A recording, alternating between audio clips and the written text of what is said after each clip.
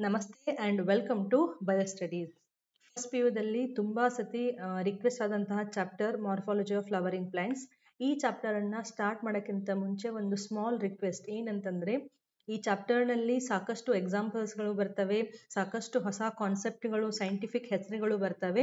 So, ನೀವೇನು ಮಾಡಬೇಕು ಅಂತಂದರೆ, ಈ ಈ ಚಾಪ್ಟರ್ ಹೆಂಗಿದೆ ಅಂತಂದರೆ ನನ್ನ ಪ್ರಕಾರ ತುಂಬ ಈಸಿ ಆದಂತಹ ಚಾಪ್ಟರ್. ಯಾಕಂದರೆ ಇಲ್ಲಿ ಬರುವಂತಹ ಪ್ರತಿಯೊಂದು ವರ್ಡು, ಪ್ರತಿಯೊಂದು ಕಾನ್ಸೆಪ್ಟು, ಪ್ರತಿಯೊಂದು ಪ್ಯಾಟರ್ನು ನಮಗೆ ಸುತ್ತಮುತ್ತಲೇ ನೋಡಲಿಕ್ಕೆ ಎಷ್ಟೊಂದು ಸಿಗ್ತವೆ ಡೇ ಟು ಡೇ ಲೈಫಲ್ಲಿ. ಸೊ, ನೀವು ಯಾವತ್ತೂ ಅಬ್ಸರ್ವ್ ಮಾಡ್ತಾ ಇರಬೇಕು. ನಮ್ಮ ಸುತ್ತಮುತ್ತಲು ಎಷ್ಟೊಂದು ಪ್ಲಾಂಟ್ಸ್ಗಳಿದಾವಲ್ಲ ಅಲ್ಟಿಮೇಟ್ಲಿ ನಾವು ಪ್ಲಾಂಟ್ಸ್ಗಳ ಬಗ್ಗೆನೇ ಕಲಿತಾ ಇದ್ದೀವಿ. ಸೊ ಅಂತಹ ಪ್ಲಾಂಟ್ಸ್ಗಳನ್ನು ಕಂಟಿನ್ಯೂಸ್ ಆಗಿ ನಾವು ಅಬ್ಸರ್ವ್ ಮಾಡ್ತಾ ಇರಬೇಕು, ಮಾಡಬೇಕಾದ್ರೆ ಅವನ್ನ ರಿಕಾಲ್ ಮಾಡಲಿಕ್ಕೆ ಟ್ರೈ ಮಾಡಬೇಕು. ಅಂದರೆ ಟ್ರಸ್ಟ್ ಮೀ ಹಂಡ್ರೆಡ್ ಪರ್ಸೆಂಟ್ ನಿಮಗೆ ಇದು ತುಂಬ ಈಸಿ ಆಗುವಂತಹ ಚಾಪ್ಟರು ಎಕ್ಸಾಮ್ ಎಕ್ಸಾಮ್ ಪರ್ಪಸಿಗೆ ಸೊ ಈ ವಿಡ್ ಈ ಚಾಪ್ಟರದ್ದು ಎಲ್ಲ ವಿಡಿಯೋಸ್ಗಳು ಮುಗಿದ ಮೇಲೆ ನೀವೇ ಹೇಳ್ತೀರಾ ಮ್ಯಾಮ್ ಇದು ತುಂಬಾ ಈಸಿಯಾಗಿ ನಮಗೆ ಅರ್ಥ ಆಯಿತು ಅಂತ. ಸೊ ಈ ವಿಡಿಯೋದಿಂದ ನಾವು ಮಾರ್ಫಾಲಜಿ ಆಫ್ ಫ್ಲವರಿಂಗ್ ಪ್ಲಾಂಟ್ಸ್ ಅನ್ನ ಸ್ಟಾರ್ಟ್ ಮಾಡೋಣ. ನಾನು ಪ್ರತಿ ಸತಿ ಹೊಸ ಚಾಪ್ಟರನ್ನು ಸ್ಟಾರ್ಟ್ ಮಾಡಬೇಕಾದ್ರೆ ಅಥವಾ ಹೊಸ ಕಾನ್ಸೆಪ್ಟನ್ನು ಸ್ಟಾರ್ಟ್ ಮಾಡಬೇಕಾದ್ರೆ ಹೇಳ್ತಾ ಇರ್ತೀನಿ. ಮುಂಚೆ ಆ ಕಾನ್ಸೆಪ್ಟದ್ದು ಹೆಡ್ಡಿಂಗ್ ಏನಿದೆ ಅದರ ಮೇಲೆ ಕಾನ್ಸಂಟ್ರೇಟ್ ಮಾಡಿ ನಿಮಗೆ ಅರ್ಧ ಕಾನ್ಸೆಪ್ಟೇ ಅರ್ಥ ಆದಂಗೆ ಅಂತ. So ಇಲ್ಲೇನಿದೆ? Morphology of flowering plants so ಇಲ್ಲಿ ಎರಡು ಹೊಸ ವರ್ಡ್ಸ್ಗಳು ಇದ್ದಾವೆ ಓಕೆ ಒಂದು ಮಾರ್ಫಾಲಜಿ ಇನ್ನೊಂದು ಫ್ಲವರಿಂಗ್ ಪ್ಲಾಂಟ್ಸ್ ಹೊಸ ವರ್ಡ್ ಅಂತಂದ್ರೆ ಕಾನ್ಸೆಪ್ಟ್ ರಿಲೇಟೆಡ್ ಆಲ್ರೆಡಿ ನಮಗೆ ಗೊತ್ತಿದೆ, ಇದೇನಂತ ಒಂದು ಅಟ್ಲೀಸ್ಟ್ ಒಂದು ರಫ್ ಐಡಿಯಾ ಅಂತೂ ಇದೆಯಾ? ಮಾರ್ಫಾಲಜಿ ಮಾರ್ಫಾಲಜಿ ಅಂತಂದ್ರೆ ಏನು? ಫಸ್ಟ್ ಚಾಪ್ಟರ್ನಲ್ಲಿ ನಾವು identification of the organisms classification of the organisms ಅಂತ ಕಲಿತಾ ಇದ್ವಿ. ಅವಾಗ ನಾವು ಮಾರ್ಫಾಲಜಿ ಅನ್ನುವಂತಹ ವರ್ಡನ್ನು ಯೂಸ್ ಮಾಡಿದ್ದೀವಿ. ಎಲ್ಲಿ? ಜೀವಿ ಹೊರಗಡೆ ಕಾಣುವಂತಹ ಗುಣಲಕ್ಷಣಗಳ ಮೇಲೆ ಆ ಜೀವಿಯನ್ನ ನಾವು ಐಡೆಂಟಿಫೈ ಮಾಡ್ಬೋದು ಕ್ಲಾಸಿಫೈ ಮಾಡ್ಬೋದು ಅಂತ ಒಂದು ರಫ್ ಅಲ್ಲಿ ನಾವಲ್ಲಿ ಕಲ್ಕೊಂಡಿದ್ವಲ್ಲ? ಸೊ ಅದೇ ಇದು. ಮಾರ್ಫಾಲಜಿ ಅಂತಂದ್ರೆ ಏನು? ಒಂದು ಜೀವಿಗೆ ಹೊರಗಡೆಯಿಂದ ಕಾಣುವಂತಹ ಯಾವ ಗುಣಲಕ್ಷಣಗಳು ಗುಣಲಕ್ಷಣಗಳಿದ್ದಾವೆ ಆ ಗುಣಲಕ್ಷಣಗಳನ್ನ ಸ್ಟಡಿ ಮಾಡೋದಕ್ಕೆ ನಾವೇನಂತ ಹೇಳ್ತೀವಿ? ಮಾರ್ಫಾಲಜಿ ಅಂತ ಹೇಳ್ತೀವಿ. ಇವಾಗ ನೀವು ಒಬ್ಬ ಮನುಷ್ಯನ ತಗೊಳ್ಳಿ ಅಥವಾ ಯಾವುದೋ ಒಂದು ಪ್ರಾಣಿಯನ್ನ ತಗೊಳ್ಳಿ ಅಥವಾ ಒಂದು ಗಿಡವನ್ನ ತಗೊಳ್ಳಿ. ಸೊ ಈ ಜೀವಿಗಳಿಗೆ ಹೊರಗಡೆಯಿಂದ ಯಾವ್ಯಾವ ಇದಾವೆ? ಇವಾಗ ಒಂದು ಗಿಡ ತಗೊಂಡ್ರೆ ಅಲ್ಲಿ ರೆಂಬೆ, ಕೊಂಬೆಗಳಿರ್ತವೆ, ಆಮೇಲೆ ಫ್ರೂಟ್ಸ್ ಇರ್ತವೆ ಫ್ಲಾಸ್ ಇರ್ತವೆ. ಸೊ ಇಂತಹ ಗುಣಲಕ್ಷಣಗಳ ಮೇಲೆ ನಾವು ಅಧ್ಯಯನ ಮಾಡಿದ್ರೆ ಅದು ನಮಗೆ morphology flowering plants next word flowering plants plants ಅಂದರೆ ಕಿಂಗ್ಡಮ್ ಪ್ಲಾಂಟೇ ಗೊತ್ತಿದೆ ನಮಗೆ. ಅಲ್ಲಿ ನಾವು ಶೈವಲಗಳನ್ನ ಕಲ್ತಿದ್ದೀವಿ ಬ್ರಯೋಫೈಟ್ಸು ಟೆರಡೋಫೈಟ್ಸು ದೆನ್ ಜಿಮ್ನೋಸ್ಪಮ್ಸು ಎಂಜಿಯೋಸ್ಪಮ್ಸು ನಾವು ಎಂಜಿಯೋಸ್ಪರ್ಮ್ಸಿಗೆ ಬಂದಾಗ ನಾವು ಏನು ಓದಿದ್ವಿ? Angiosperms are the flowering plants ಅಂತ ಓದಿದ್ವಿ. ಹೌದಾ? ಸೊ ನಾವು ಇವಾಗ ಇಲ್ಲಿ ಫ್ಲವರಿಂಗ್ ಪ್ಲಾಂಟ್ಸ್ ಅಂತ ಮೆನ್ಷನ್ ಮಾಡಿದ್ವಿ ಅಂತಂದ್ರೆ we are going to study something about angiosperms okay ma'am ಇದು ತುಂಬ ಈಸಿ ಇದನ್ನೇ ಹೇಳ್ತಿದ್ದೀರಾ ಅಂತ ಕೇಳ್ಬೋದು. ಬಿಕಾಸ್ ಇವಾಗ ಎಕ್ಸಾಮ್ ಅಲ್ಲಿ morphology of flowering plants related ಯಾವುದಾದ್ರೂ ಕ್ವಶನ್ ಇತ್ತು ಅಂತಂದ್ರೆ, ಆ ಕ್ವಶನ್ನಿಗೆ ನೀವು ಒಂದು ಎಕ್ಸಾಂಪಲ್ ಕೊಡಬೇಕಿತ್ತು ಅಂತಂದ್ರೆ ನೆನ್ಪಿಟ್ಕೊಳ್ಳಿ. ಆ ಎಕ್ಸಾಂಪಲ್ ಒಂದು ಎಂಜೋಸ್ಪರ್ಮ್ ಆಗಿರಬೇಕು ಫ್ಲವರಿಂಗ್ ಪ್ಲಾಂಟ್ ಆಗಿರಬೇಕು. ಅಲ್ಲಿ ಹೋಗಿ ನೀವು ಒಂದು ಸೈಕಸ್ದು ಅಥವಾ ಟೆರಡೋಫೈಟದ್ದು ಎಕ್ಸಾಂಪಲ್ ಬರೆಯೋಂಗಿಲ್ಲ. ಸೊ ನಾವು ಎಂಜೋಸ್ಪರ್ಮ್ಸ್ಗಳು ಏನಿದಾವಲ್ಲ ಫ್ಲವರ್ ಅನ್ನ ಬಿಡುವಂತಹ ಪ್ಲಾಂಟ್ಸ್ಗಳು ಆ ಪ್ಲಾಂಟ್ಸ್ಗಳದ್ದು ಮಾತ್ರ ಮಾರ್ಫಾಲಜಿಯನ್ನು ಕಂಪ್ಲೀಟ್ ಆಗಿ ಡಿಟೇಲ್ ಆಗಿ ನಾವು ಕಲಿತಾ ಇದ್ದೀವಿ. ಸೊ ಗೊತ್ತಾಯ್ತಾ ನಿಮಗೆ? ಇವಾಗ ನಮ್ಮ ಸುತ್ತಮುತ್ತಲು ಎಷ್ಟೊಂದು ಫ್ಲವರಿಂಗ್ ಪ್ಲಾಂಟ್ಸ್ ಇದಾವೆ, ಎಷ್ಟೊಂದು ಲಕ್ಷಗಟ್ಟಲೆ ನಮಗೆ ಸಿಗ್ತವೆ. ನೀವು ನಡ್ಕೊಂಡು ಹೋಗ್ಬೇಕಾದ್ರೆ ಸಿಗ್ತವೆ, ಮನೆಯಲ್ಲಿ ಕರಿಬೇವು, ಕೊತ್ತಂಬರಿ ತಗೊಂಬಂದ್ರೆ ಸಿಗ್ತವೆ, ಪಾಲಕ್ ತಗೊಂಬಂದ್ರೆ ಸಿಗ್ತವೆ. ಸೊ ಅವೆಲ್ಲವೂ ಏನೋ ಗಳು ಸೊ ಇಲ್ಲಿ ಬರುವಂತಹ ಏನು ಮಾರ್ಫಾಲಜಿಕಲ್ ಕ್ಯಾರೆಕ್ಟರ್ಸ್ ಇದಾವೆ ಅವನ್ನ ನೀವು ಪ್ರತಿ ಸತಿ ನಿಮಗೆ ಕಾಣುವಂತಹ ಎಂಜಿಯೋಸ್ಪಮ್ಸಿಗೆ ಫ್ಲವರಿಂಗ್ ಪ್ಲಾಂಟ್ಸಿಗೆ ಕಂಪೇರ್ ಮಾಡ್ತಾ ಹೋಗಿ. ಸೊ ಅದು ನಿಮಗೆ ಈಸಿಯಾಗಿ ರಿವೈಸ್ ಮಾಡ್ತಾ ಮಾಡ್ತಾ ಅರ್ಥ ಆಗುತ್ತೆ. ಓಕೆ ನಾವು ಮಾರ್ಫಾಲಜಿ ಆಫ್ ಫ್ಲವರಿಂಗ್ ಪ್ಲಾಂಟ್ಸ್ನಲ್ಲಿ ಫಸ್ಟ್ ನಾವು ಕಲ್ತಿದ್ದು ಮಾರ್ಫಾಲಜಿ ಅಂದರೆ ಏನು ಅಂತ. ಸೈಂಟಿಫಿಕ್ ಆಗಿ ಡೆಫಿನೇಷನ್ ಏನು? It is the study of it is the study of external form external ಅಂತಂದ್ರೆ ಹೊರಗಡೆ. ಅಪೋಸಿಟ್ ಯಾವುದು? ಎಕ್ಸ್ಟರ್ನಲ್ ಅದು ಇಂಟರ್ನಲ್ ಸೊ ಇಂಟರ್ನಲ್ ಸ್ಟಡಿ ಮಾಡಿದ್ರೆ ಅದನ್ನ ನಾವು ಅನಾಟೊಮಿ ಅಂತ ಕರಿತೀವಿ. ಎನಾಟೊಮಿ ಎನಾಟೊಮಿ ಅಂತಂದ್ರೆ study of internal characters morphology ಅಂತಂದ್ರೆ study of external characters so it is a study of external forms then structure and relative positions of different organs so ಬೇರೆ ಬೇರೆ ಅಂಗಗಳು ಆ ಜೀವಿನಲ್ಲಿ ಯಾವ್ಯಾವ ರೀತಿಯಲ್ಲಿ ಅರೇಂಜ್ ಆಗಿದ್ದಾವೆ, ಎಷ್ಟೆಷ್ಟು ಗಾತ್ರದಲ್ಲಿ ಅರೇಂಜ್ ಆಗಿದ್ದಾವೆ, ಒಂದಕ್ಕೊಂದು ಹೆಂಗೆ ಪೂರಕವಾಗಿ ಅರೇಂಜ್ ಆಗಿದ್ದಾವೆ. ಸೊ ಹೊರಗಡೆಯಿಂದ ಈ ಎಲ್ಲ ಕ್ಯಾರೆಕ್ಟರ್ಸ್ಗಳನ್ನು ಸ್ಟಡಿ ಮಾಡೋದನ್ನ ನಾವು ಮಾರ್ಫಾಲಜಿ ಅಂತ ಕರಿತೀವಿ. ಮ್ಯಾಮ್ ಯಾಕೆ ಹಂಗೆ ಮಾಡಬೇಕು? ಅವಶ್ಯಕತೆ ಏನಿದೆ? Because it helps in identification of an organism so ಆ ಜೀವಿಯನ್ನು ಗುರುತಿಸ್ಲಿಕ್ಕೆ ಐಡೆಂಟಿಫೈ ಮಾಡಲಿಕ್ಕೆ ಮಾರ್ಫಾಲಜಿಯನ್ನು ನಾವು ಆಧಾರವಾಗಿಟ್ಕೊಂಡು ಮಾಡಬಹುದು ಅಂತ. ಓಕೆ ಇದು ಫಸ್ಟ್ ಹಾಫ್ ಆಯಿತು. Second half flowering plants so parts of a flowering plants so parts of a flowering plant ನಾನು ಎಕ್ಸ್ಪ್ಲೇನ್ ಮಾಡಲಿಲ್ಲ ಅಂದ್ರೂ ನೀವು ಅದನ್ನ ಈಸಿಯಾಗಿ ಇಮ್ಯಾಜಿನ್ ಮಾಡ್ಬೋದು. ಒಂದು ಗಿಡ ಇದೆ ಫ್ಲವರನ್ನ ಬಿಡುವಂತಹ ಗಿಡ. ಅದಕ್ಕೇನಿರುತ್ತೆ ಕೆಳಗಡೆ ಬೇರುಗಳಿರ್ತವೆ ಮೇಲ್ಗಡೆ ರೆಂಬೆ ಕೊಂಬೆಗಳು ಇರ್ತವೆ. ಸೊ ಒಂದು ರೂಟ್ ಸಿಸ್ಟಮ್ ಇರುತ್ತೆ, ಒಂದು ಶೂಟ್ ಸಿಸ್ಟಮ್ ಇರುತ್ತೆ ಅಂತ ನಮ್ಗೆ ಗೊತ್ತಿದೆ. ಓಕೆ ನಾವು ಸಿ ಹಿಯರ್ ಇವಾಗ ಒಂದು ಪ್ಲಾಂಟ್ ಬೆಳಿಬೇಕು. ಹೌದಾ? ಅಥವಾ ಒಂದು ಟ್ರೀ ಬೆಳಿಬೇಕು. ಇದು ಹೆಂಗೆ ಬೆಳೆಯುತ್ತೆ? ಇದು ಒಂದು ಬೀಜದಿಂದ ಬೆಳೆಯುತ್ತೆ. ಹೌದಾ? ಸೀಡಿಂದ ಬೆಳೆಯುತ್ತೆ. ಸೊ ಈ ಸೀಡ್ ಏನಾಗಬೇಕು ಫಸ್ಟು ಜರ್ಮಿನೇಷನ್ ಆಗಬೇಕು. ಅಂದರೆ ಅದು ಮೊಳಕೆ ಒಡಿಬೇಕು. ಹೌದಾ? ಜರ್ಮಿನೇಷನ್ ಅಂದರೆ ಏನು? ಮಳ್, ಮೊಳಕೆ ಒಡೆಯೋದು ಅಂತ ಅರ್ಥ. ಸೊ ಯಾವಾಗ ಒಂದು ಬೀಜ ಒಂದು ಸೀಡ್ ಮೊಳಕೆ ಒಡೆಯುತ್ತೋ if imagine this is one seed ಯಾವುದೋ ಒಂದು ಬೀಜ. ಸೊ ಇದು ಯಾವಾಗ ಮೊಳಕೆ ಒಡೆಯುತ್ತಲ್ಲ, ಇಲ್ಲಿ ನಿಮಗೆ ಎರಡು ಪಾರ್ಟ್ಗಳು ಸಿಗ್ತವೆ. ಓಕೆ ಇಲ್ಲಿ ನಿಮಗೆ ಎರಡು ಪಾರ್ಟ್ಗಳು ಸಿಗ್ತವೆ. ಒಂದು ಟುವರ್ಡ್ಸ್ ಕೆಳಗಡೆ ಬೆಳೆಯುವಂತಹ ಪಾರ್ಟು, ಇನ್ನೊಂದು ಮೇಲ್ಗಡೆ ಮುಖವಾಗಿ ಬೆಳೆಯುವಂತಹ ಪಾರ್ಟು. ಸೊ ಏನಿದು? This is nothing but seed ಇದರಲ್ಲಿ ಒಂದು ಪಾರ್ಟ್ ಏನಿದೆಯಲ್ಲ, ಕೆಳಗಡೆ part this we call it as a ಇದನ್ನ ನಾವೇನಂತ ಕರಿತೀವಿ? We call it as a radicle radicle okay ಮೇಲ್ಗಡೆ ಇರುವಂತಹ ಪಾರ್ಟ್ ಏನಿದೆಯಲ್ಲ this we call it as a plumule even ನೀವು ಮನೆಯಲ್ಲಿ ಮೊಳಕೆ ಕಾಳನ್ನ ಮೊಳಕೆ ಬರ್ಸಿದ್ರೆ ಹೆಸರು ಕಾಳನ್ನ ಮೊಳಕೆ ಬಡಿಸಿದ್ರೆ ಅಥವಾ ಯಾವುದೋ ಒಂದು ಅಲಸಂದಿ ಕಾಳು ಆಗ್ಬೋದು, ಆಮೇಲೆ ಮಡಿಕೆ ಆಗ್ಬೋದು. ಸೊ ಯಾವುದೇ ಕಾಳನ್ನ ನೀವು ಮೊಳಕೆ ಬರೆಸಿದ್ರೆ ನಿಮಗೆ ಫಸ್ಟ್ ಅಲ್ಲಿ ರೂಟ್ ಅಷ್ಟೇ ಸಿಗುತ್ತಲ್ಲ ಹೊರಗಡೆಯಿಂದ. ಸೊ ಹಾಗೆ ನೀವು ಬಿಟ್ರಿ ಅಂತಂದ್ರೆ you will get both these parts plumule ಮತ್ತೆ ರ್ಯಾಡಿಕಲ್ ಈ ಪ್ಲ್ಯೂಮ್ಯೂಲ್ ಮತ್ತೆ ರ್ಯಾಡಿಕಲ್ಗಳು ಏನ್ ಮಾಡ್ತವೆ ಅಂತಂದ್ರೆ radicle is the part which will develop in to a root so ಆ ಗಿಡದ್ದು ಬೇರಾಗಿ ಬೇರೆ ಎಲ್ಲಿಂದ ಬೆಳೆಯುತ್ತೆ ರೆಡಿಕಲ್ ಪಾರ್ಟ್ ಇಂದ ಬೆಳೆಯುತ್ತೆ. ಆ ಗಿಡದ್ದು ಮೇಲ್ಗಡೆ ರೆಂಬೆ ಕೊಂಬೆಗಳು, ಅದನ್ನ ನಾವು ಶೂಟ್ ಅಂತ ಹೇಳ್ತೀವಿ. ಒಂದು ರೂಟ್ ಸಿಸ್ಟಮ್, ಒಂದು shoot system. Root system are ಇದೆ ಇಲ್ಲಿಯೂ ಕೂಡ ಆರ್ ಇದೆ ರ್ಯಾಡಿಕಲ್ ಇಂದ ರೂಟು ಪ್ಲ್ಯೂಮ್ಯೂಲಿಂದ ಶೂಟು. ಇದನ್ನ ನೀವು ನೆನ್ಪಿಟ್ಕೊಳ್ಳೇಬೇಕು ಈ ಶೂಟ್ ಏನಿದೆಯಲ್ಲ, ಮುಂದೆ ಇದು ಬೆಳೆದು ಬ್ರಾಂಚಸ್ ಆಗಿ, ಇದ್ರ ಮೇಲ್ಗಡೆ ಲೀಫ್ ಆಗಿ, ಒಂದು ಫ್ಲವರ್ ಆಗಿ, ಆ ಫ್ಲವರ್ನಲ್ಲಿ ಫಲೀಕರಣ ಆಗಿ ಅದು ಫ್ರೂಟ್ ಆಗುತ್ತೆ. ಅದನ್ನ ಬಿಟ್ಬಿಡೋಣ, ಮುಂದೆ ಓದೋಣಂತೆ. ಸೊ ಇವಾಗ ನೀವು ಏನು ನೆನ್ಪಿಟ್ಕೋಬೇಕು? ರ್ಯಾಡಿಕಲ್ಲು ರ್ಯಾಡಿಕಲ್ಲು ರೂಟ್ ಆಗಿ ಬೆಳೆಯುತ್ತೆ. ಮುಂದೆ ಪ್ಲ್ಯೂಮ್ಯೂಲು ಶೂಟ್ ಸಿಸ್ಟಮ್ ಆಗಿ ಬೆಳೆಯುತ್ತೆ ಅಂತ. ಓಕೆ ಸೊ ಈ ಪ್ಲ್ಯೂಮ್ಯೂಲ್ ಮತ್ತು ರ್ಯಾಡಿಕಲಿಂದ ಕಂಪ್ಲೀಟ್ ಆಗಿ ಒಂದು ಪ್ಲ್ಯಾಂಟು ಬೆಳೆದಿದೆ ಅಂತ ಇಮ್ಯಾಜಿನ್ ಮಾಡಿ. Okay these are the flowers ಆಮೇಲೆ ಇಲ್ಲಿ ಒಂದು ಫ್ರೂಟ್ ಇದೆ ಅಂತ ಇಮ್ಯಾಜಿನ್ ಮಾಡಿ. ಓಕೆ ನಾವು here is the root system so this is called it we call it as a root system ಇದು ಮೇಲ್ಗಡೆ ಕಂಪ್ಲೀಟ್ ಆಗಿ ಏನಿದೆಯಲ್ಲ this we call it as a shoot system ಸ್ಪೆಲ್ಲಿಂಗ್ಸ್ಗಳನ್ನ ನೋಡ್ತಾ ಹೋಗಿ ಈಸಿ ಆಗಿದ್ದಾವೆ ಏನು ಡಿಫಿಕಲ್ಟ್ ಇಲ್ಲ. ನಾವು come here parts of a flowering ಪ್ಲಾಂಟ್ಸ್ನಲ್ಲಿ first ನಾವು ಒಂದು central axis of a flowering plant ಅಂತ ಇಮ್ಯಾಜಿನರಿ ಜಸ್ಟ್ ನೀವು ಇಮ್ಯಾಜಿನ್ ಮಾಡಿದ್ರಿ ಅಂತಂದ್ರೆ, ಈ ಸೆಂಟ್ರಲ್ ಆಕ್ಸಿಸ್ ಏನಿದೆಯಲ್ಲ if this is a central axis of a flowering plant ಈ ಸೆಂಟ್ರಲ್ ಆಕ್ಸಿಸ್ನಲ್ಲಿ ಎರಡು ಪಾರ್ಟ್ಗಳು ಇರ್ತಾವಂತೆ. ಒಂದು ಅಂಡರ್ ಗ್ರೌಂಡ್ ಪಾರ್ಟು ಒಂದು ಅಬೋ ದ ಗ್ರೌಂಡ್ ಪಾರ್ಟ್ ಅಥವಾ ಏರಿಯಲ್ ಪಾರ್ಟ್ ಸೊ ಎಷ್ಟು ಈಸಿಯಾಗಿದೆ ಜಸ್ಟ್ ನೀವು ಇಮ್ಯಾಜಿನ್ ಮಾಡ್ತಾ ಹೋಗಿ ನಾನು ಎಕ್ಸ್ಪ್ಲೇನ್ ಮಾಡೋದನ್ನ. ಸೊ ಒಂದು ಪ್ಲಾಂಟದ್ದು ಇವಾಗ ನಾವು ನಮ್ಮದು ಸೆಂಟ್ರಲ್ ಆಕ್ಸಿಸ್ ಅಂತ ತಗೊಂಡ್ರೆ ಇಲ್ಲಿ ಪೂರ್ತಿ ನಮಗೆ ಅಸ್ಥಿಪಂಜರ ಸಿಗುತ್ತಲ್ಲ? ಹಾಗೆ ಪ್ಲಾಂಟದ್ದು ಒಂದು ಸೆಂಟ್ರಲ್ ಆಕ್ಸಿಸ್ ಇದೆ ಅಂತ ತಿಳ್ಕೊಳ್ಳಿ. ಇದರದ್ದು ಸ್ವಲ್ಪ ಪಾರ್ಟು ಭೂಮಿಯ ಒಳಗಡೆ ಅಂಡರ್ ಗ್ರೌಂಡ್ ಬೆಳೀತಾ ಇದೆ. ಸ್ವಲ್ಪ ಪಾರ್ಟು ಭೂಮಿ ಬಿಟ್ಟು ಹೊರಗಡೆ ಏರಿಯಲ್ ಆಗಿ ಅಥವಾ ಅಬೋ ದ ಗ್ರೌಂಡ್ ಬೆಳೀತಿದೆ.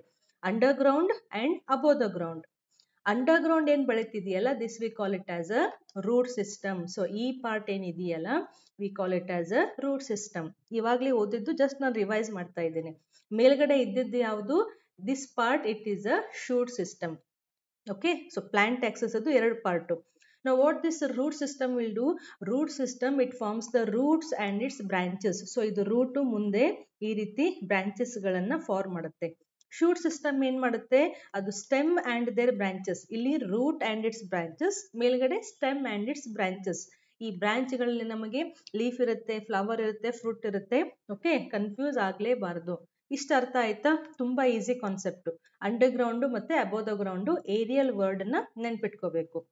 ನೆಕ್ಸ್ಟ್ ನಾವು ಫ್ಲವರಿಂಗ್ ಪ್ಲಾಂಟ್ಸ್ ಎಲ್ಲ ಆರ್ಗನ್ಸ್ಗಳನ್ನ ಕನ್ಸಿಡರ್ ಮಾಡಿದ್ರೆ ಆರ್ಗನ್ಸ್ಗಳಂದ್ರೆ ಏನು? ಈ ಪ್ಲ್ಯಾಂಟ್ನಲ್ಲಿ ಇರುವಂತಹ ಬೇರೆ ಬೇರೆ ಅಂಗಗಳು. ಯಾವ್ಯಾವುದು?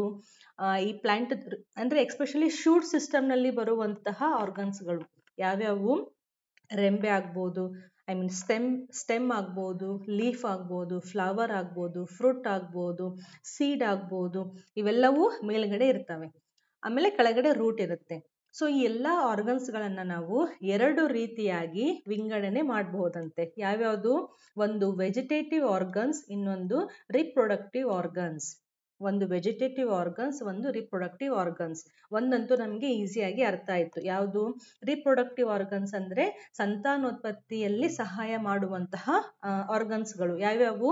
ಫ್ಲವರ್ಸ್ ಆ್ಯಕ್ಚುಲಿ ಫ್ಲವರು ಸಂತಾನೋತ್ಪತ್ತಿಗೆ ಹೆಲ್ಪ್ ಆಗುತ್ತೆ. ಈ ಫ್ಲವರ್ನಲ್ಲಿ ಸಂತಾನೋತ್ಪತ್ತಿ ಆದಮೇಲೆ, ಫಲೀಕರಣ ಆದಮೇಲೆ ಫ್ರೂಟ್ ಫಾರ್ಮ್ ಆಗುತ್ತೆ. ಆ ಫ್ರೂಟ್ ಒಳಗಡೆ ಏನಿರುತ್ತೆ? ಸೀಡ್ ಇರುತ್ತೆ. ಸೊ ಜನರಲ್ ಆಗಿ ನಾವಿಲ್ಲಿ flowers and fruits are the reproductive organs ಅಂತ ತಗೋಬಹುದು ಯಾಕಂದ್ರೆ ಇದೇ ಫ್ರೂಟ್ನಲ್ಲಿ ಸೀಡ್ ಸೀಡಿಂದ ಮುಂದೆ ಅದರದ್ದು ಸಂತತಿ ಕಂಟಿನ್ಯೂ ಆಗುತ್ತೆ. ಓಕೆ ನೆಕ್ಸ್ಟ್ ವೆಜಿಟೇಟಿವ್ ಆರ್ಗನ್ಸ್ ಅಂದ್ರೆ ಏನು?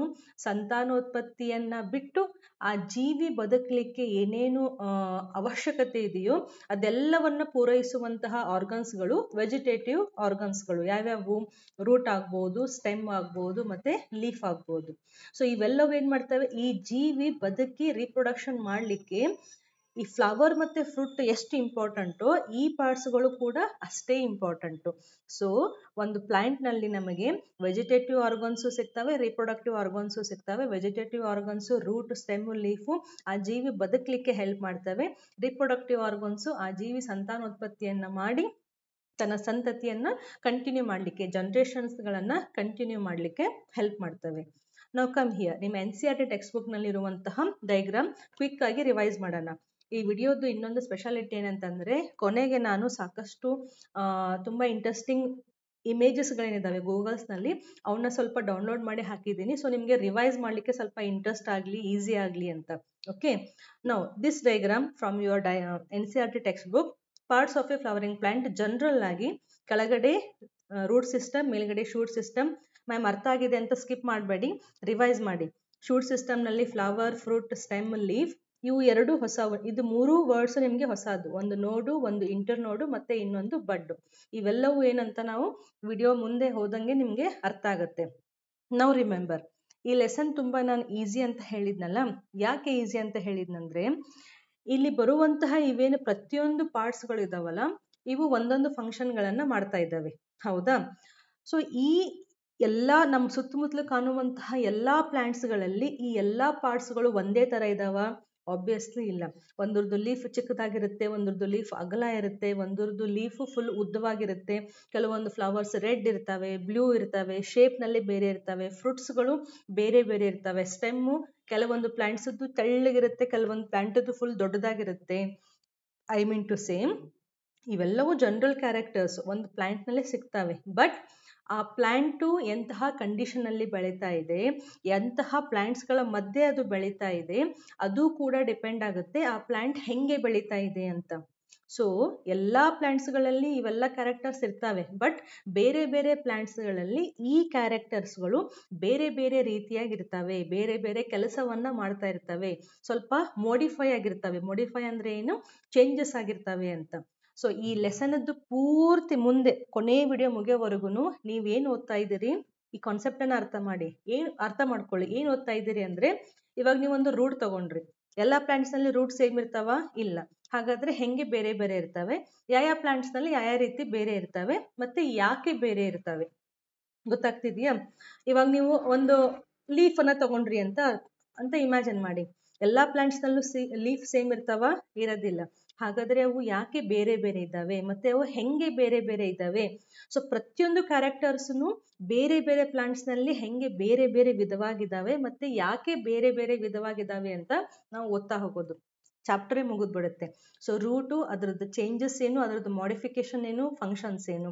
ಲೀಫು ಅವು ಹೆಂಗೆ ಚೇಂಜಸ್ ಇದ್ದಾವೆ ಸೈಜಲ್ಲಿ ಶೇಪಲ್ಲಿ ಫಂಕ್ಷನ್ನಲ್ಲಿ ಫ್ರೂಟು ಕೂಡ ಸೈಜ್ನಲ್ಲಿ ಆಗ್ಬೋದು ಶೇಪಲ್ಲಿ ಆಗ್ಬೋದು. ಹೆಂಗೆ ಚೇಂಜಸ್ ಇದ್ದಾವೆ ಮತ್ತು ಯಾಕೆ ಚೇಂಜಸ್ ಇದ್ದಾವೆ ಫ್ಲವರ್ಸು ಕೂಡ so many different varieties of colourful flowers we have so ಯಾಕೆ ಅವು ಬೇರೆ ಬೇರೆಯಾಗಿದ್ದಾವೆ ವಿಭಿನ್ನವಾಗಿ ಯಾಕಿದ್ದಾವೆ ಸೊ ಒಂದೊಂದು ಕ್ಯಾರೆಕ್ಟರ್ನ ತಗೊಳ್ಳೋಣ. ಅದರದ್ದು ಕಂಪ್ಲೀಟ್ ಆದಂತಹ ಸ್ಟಡಿಯನ್ನ ಮಾಡೋಣ. So first we will start with a very easy ಯಾವುದು ರೂಟ್ ಅನ್ನ ನಾವು ಸ್ಟಾರ್ಟ್ ಮಾಡೋಣ. ಓಕೆ ನಾವು first will take the root ನಾವು what is a root so root it is the underground part of a plant axis ಇವಾಗಷ್ಟೇ ಓದಿದ್ವಲ್ಲ plant axis ಇದು part it is a non green and descending part of a plant descending ಅಂತಂದ್ರೆ ಅಂತಂದ್ರೇನು ಕೆಳಗಡೆ ಹೋಗೋದು ಅಂತ ಅರ್ಥ. ಭೂಮಿಯ ಒಳಗಡೆ. ಅಂಡರ್ಗ್ರೌಂಡ್ ಅಂದ್ರೆ ಭೂಮಿಯ ಒಳಗಡೆ ಅಂತ. ಸೊ ಇಲ್ಲಿ ಇಂಪಾರ್ಟೆಂಟ್ ವರ್ಡ್ಸ್ ನೆನ್ಪಿಟ್ಕೋಬೇಕು ಯಾವ್ಯಾವುದು? ಒಂದು underground it is a non green and it is a descending part the leaves and buds are absent very important ma'am ಇವಾಗ ನಾವು ನಿಮ್ಗೆ ಯಾವುದೋ ಒಂದು ಪ್ಲಾಂಟ್ ಆಕ್ಸಸ್ ಅನ್ನ ನಾನು ಕೊಡ್ತೇನೆ ನಿಮಗೆ. ಇದು ಒಂದು ಪ್ಲಾಂಟ್ದು ಆಕ್ಸಸ್ ಇದರಲ್ಲಿ ರೂಟ್ ಎಲ್ಲಿದೆ ಶೂಟ್ ಎಲ್ಲಿದೆ ಅಂತ ನಿಮಗೆ ಹೆಂಗೆ ಗೊತ್ತಾಗುತ್ತೆ?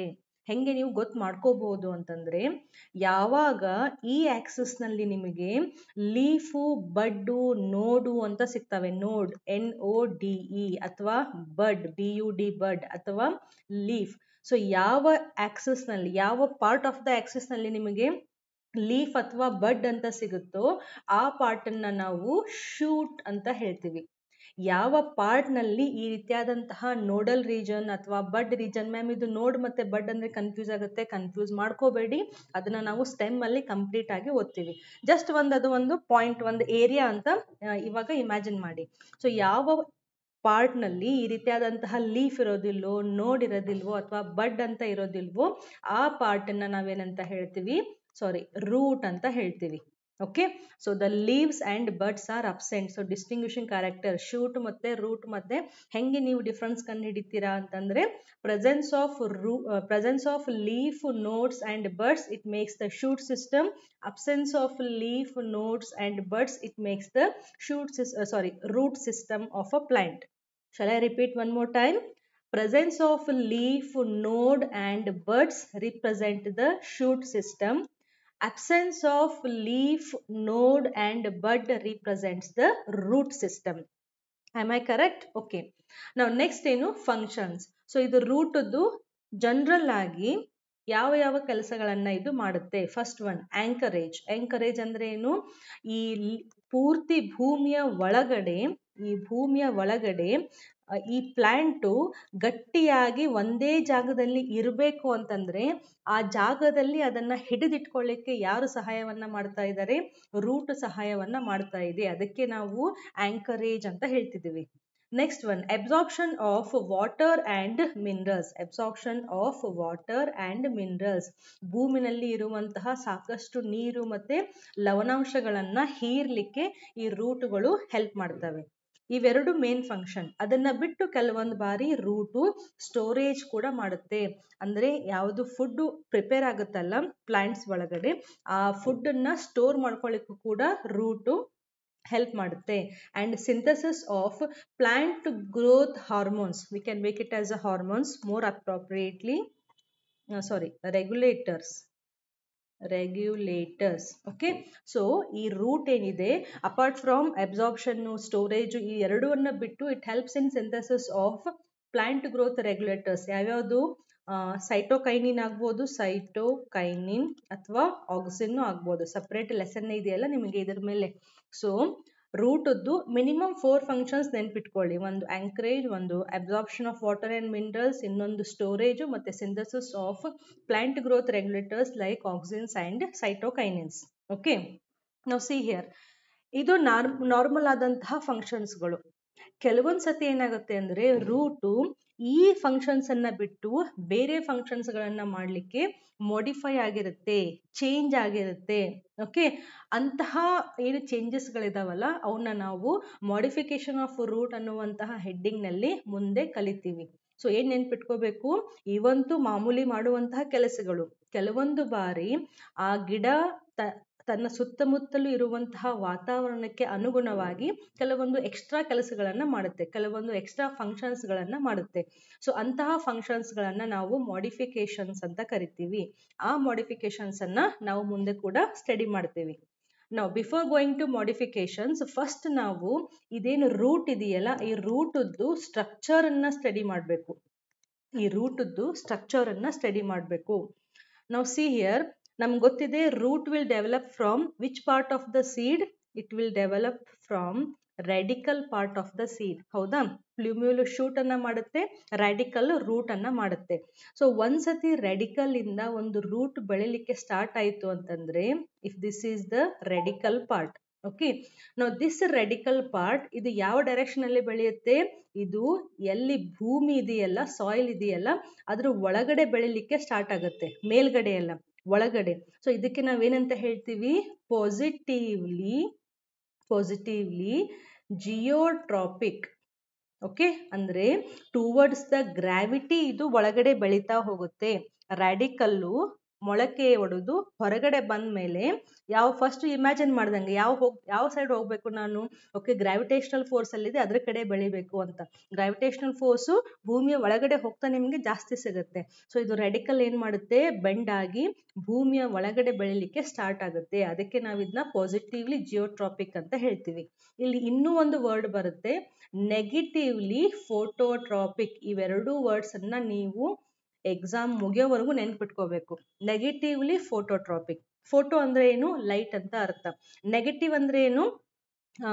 ಅವೇ ಫ್ರಮ್ ಅಂದ್ರೆ ದೂರ ಹೋಗೋದು ಅಂತ ಅರ್ಥ. ಅಂದ್ರೆ ಇದು ಯಾವಾಗ ಪಾಸಿಟಿವ್ಲಿ ಜಿಯೋಟ್ರಾಪಿಕ್ ಆಗುತ್ತಲ್ಲ, ಅವಾಗ ಹೊರಗಡೆ ಏನು ಲೈಟ್ ಇದೆ, ಆ ಲೈಟ್ ಇಂದ ಅದು ದೂರ ಬೆಳೀತಾ ಹೋಗ್ತಾ ಇದೆ ಅಂತ. ಗೊತ್ತಾಗ್ತಿದೆಯಾ? ಸೊ ಇವೆರಡು ವರ್ಡ್ ಅನ್ನ ಎಲ್ಲಾದ್ರೂ ಬರೆದಿಟ್ಕೊಳ್ಳಿ.